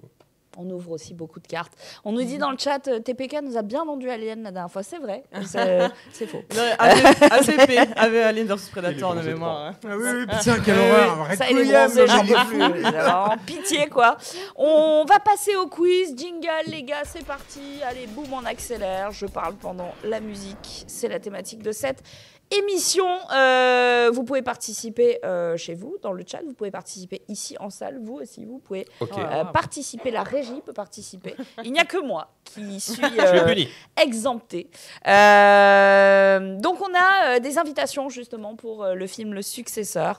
Euh, les modérateurs et l'équipe de Screen Spirit viendra vers vous si euh, bah, dans la salle ou dans le chat vous répondez juste à cette question. Alors dans quelle comédie musicale. Le public dans la salle jette du riz, de l'eau, se déguise, chante et danse le taille-moi pendant la projection Voilà, bah alors. c'est bravo, trop fort, oui. bravo. Je pense que dans le chat, vous êtes un peu floué par le délai. Ah ouais. Mais vous avez un truc qui s'appelle Google. Donc, euh, vous n'avez pas commencé à chouiner. Le euh, Rocky Horror Picture Show, bien sûr, projeté. Un des meilleurs films qui existent. Enfin, j'ai- j'ai vu le Rocky Horror Picture Show, mais j'ai pas souvenir de ce que tu racontes dans le. C'est euh, à diffusion à Paris dans un ciné qui Ouais. s'appelle le Studio Galande. Et en fait, ils diffusent le film. Tous les week-ends. Il y a des comédiens qui euh, incarnent chaque personnage et euh, qui rejouent le film en même temps. Et en fait, des années. depuis des c'est années, des décennies. années, sans interruption. Ouais, c'est et en ça, fait, c'est les spectateurs apportent euh, bah, du riz quand au début il y a la scène de mariage, ils balancent le riz. Ils prennent une bouteille d'eau parce qu'après il y a une scène de bah, où il pleut, donc en fait ils balancent euh, de l'eau. Euh, flotte, et ouais. c'est un- pour l'avoir fait, c'est vraiment incroyable. C'est C'est ouf. Faut pas découvrir le film comme ça parce que je pense que vous Bah, comprenez c'est pas le trop vrai l'histoire. 4DX, quoi. Mais ouais, c'est oui, c'est c'est c'est. Ah, c'est génial. Ça, c'est cool génial. à, à faire entre Vas-y l'été parce que du coup si tu ressors t'es mouillé donc euh, tu veux pas tomber. Effectivement. Deuxième question. Alors là, c'était une question sale. Cette fois, on va essayer de donner euh, une petite chance au chat Twitch. Ok, donc on répond pas euh, tout de suite. On est dans Anatomie d'une chute, dont on parle beaucoup. en ce moment. Euh, vous savez certainement pourquoi. De Justine Trier, eh bien, la reprise du morceau PIMP, Pimp, qu'on entend au début du film, est à l'origine un titre d'un rappeur. Mais lequel? Est-ce qu'il s'agit de Tupac? Est-ce qu'il s'agit de 50 Cent Est-ce qu'il s'agit de Snoop Dogg Ou bien d'Eminem? Le chat, c'est à Chat, vous. c'est pour vous. Le chat, c'est à vous. Et on a directement une bonne réponse. On a une bonne réponse. C'est Opa qui a bien répondu. Et c'est évidemment 50 Cent. Voilà, à la base, Justine Trier voulait une chanson country. Rien à voir. Jolene. euh, de Dolly Parton. Mais finalement, elle n'a pas pu obtenir les droits. Donc, euh, C'est mieux comme ça. hein. une toute autre ambiance. Donc, euh, bravo Opa pour la bonne réponse. Question sale maintenant. Dans quelle comédie musicale culte des années 80 Il y en a plein. La danseuse Jennifer Bills travaille le jour comme soudeur dans un chantier avant de passer une audition qui va changer euh, sa vie. C'est Flashdance. Ah, mais il faut chanter la chanson en plus. Il faut se lever, Ça, danser voilà. et chanter. Ah, Let's go C'est évidemment Flashdance d'Adrienne Lynn avec l'incontournable What a Feeling d'Irene Cara. Très très forte euh, la dame. venir de voilà, comme Rocky. Et laver dans le chat, évidemment. Le chat, c'est pour vous. On a une question, attention, rapidité. En plus d'être scénariste, réalisateur, chef-op, monteur de ses films, Quentin Dupieux est aussi connu comme musicien sous le nom de Monsieur Chorizo, Monsieur... Bon, vous vous doutez bien que voilà. Monsieur Bisou, Madame Arthur ou Monsieur Oiseau? Madame Arthur. c'est- Incroyable, monsieur Chorizo. Monsieur C'est Chorizo. incroyable vrai. mon pseudo, non En plus, comme il avait cette marionnette, en fait, il aurait pu avoir une marionnette Chorizo. Ça aurait pu, ça aurait été très très drôle. On l'avait tout de suite, hein, euh, avant même que je donne. Chorizo euh, avec des euh. Les propositions, c'est MT underscore maker qui a trouvé, c'est bien, euh, Monsieur Oiseau, avec plus de 3 millions d'exemplaires vendus du titre Flatbeat dans les années 2000. Voilà. Ouais. Question sale un seul de ces films n'a pas été réalisé par le musicien Prince. Under the Cherry Moon, Purple Rain, Sign of the Times, Graffiti Bridge. Essayez de vous refaire les autres, que ce soit pas la même qui ait toutes les places. J'avoue. Ça n'a pas levé la main tout de suite, si? Elle l'avait ou pas? Est-ce qu'elle l'avait? Allez, tentez votre Je l'ai pas, je l'ai pas. Un seul de ces films n'a pas été réalisé par le musicien Prince. Under the Cherry Moon, Purple Elle est dure, Rain. celle-là. hein. Il y a un chance. gros Regarde, il y a piège. Une place à gagner, une place de cinéma. Donc allez-y, n'hésitez pas. Un gros piège. Bon, bah, du coup, La c'est- chance- du coup, c'est Purple Rain. Oh oui, bah voilà, bah c'est toi qui remporte. Bah, du coup, c'est moi qui prends la place. Je vais aller voir le travail de ce monteur et je vais me régaler. voilà, voilà, c'est c'est tout. Max qui remporte les places. C'est évidemment Purple Rain qui avait été réalisé par Albert Magnoli en 84. Euh, question Twitch, et c'est la dernière. Dans Tar de Todd Field, Kate Blanchett et DJ Ibiza, Bah, fiez-vous à l'ambiance, pianiste classique, chef d'orchestre ou cantatrice. C'est pour le chat Twitch. Et Moadib77, merci pour ta participation. Il a été très actif euh, dans le chat. C'est bien évidemment chef d'orchestre, largement inspiré de la première femme à avoir dirigé un orchestre symphonique aux États-Unis, Marine Alsop. Film incroyable, hein. Ouais. Faut le Ouais, voir tard, hein, c'est hallucinant. Quoi. Elle est incroyable en plus, Kate Je pense Elle encore à la fin. Ouais, bah. Régulièrement. C'est marrant, on parlait de White Flash, en fait, je trouve des films un peu voisins. Oui, quoi, oui. Bref. Clairement.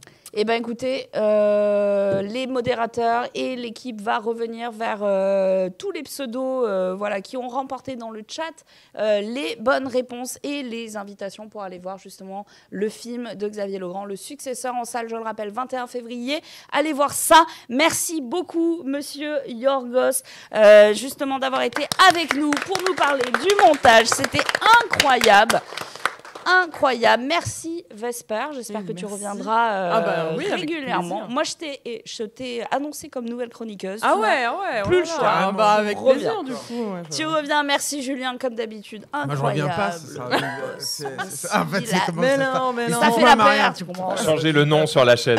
Ça fait la paire. Merci Max d'avoir été avec nous. C'était Avec trop plaisir, cool tu m'invites, je viens. de te voir aussi en dehors euh, d'un cadre de, de- de cartes à collectionner, de jeux vidéo. Ça fait plaisir et puis on est est toujours euh, euh, eh bien déçu que tu n'aies pas aimé le Seigneur des Anneaux. On finira là-dessus. Et on n'oublie pas de vous annoncer que la prochaine émission aura lieu le 2 mars. Vous le savez, c'est toujours en direct et euh, depuis le club de l'Étoile à 18h. Merci à eux de nous accueillir comme d'habitude. Merci aux techniciens. Merci à l'équipe de Screen Spirit. Merci à vous derrière votre écran. Merci à vous dans la salle. Prenez soin de vous et allez voir des films. Faites-vous kiffer. Ciao.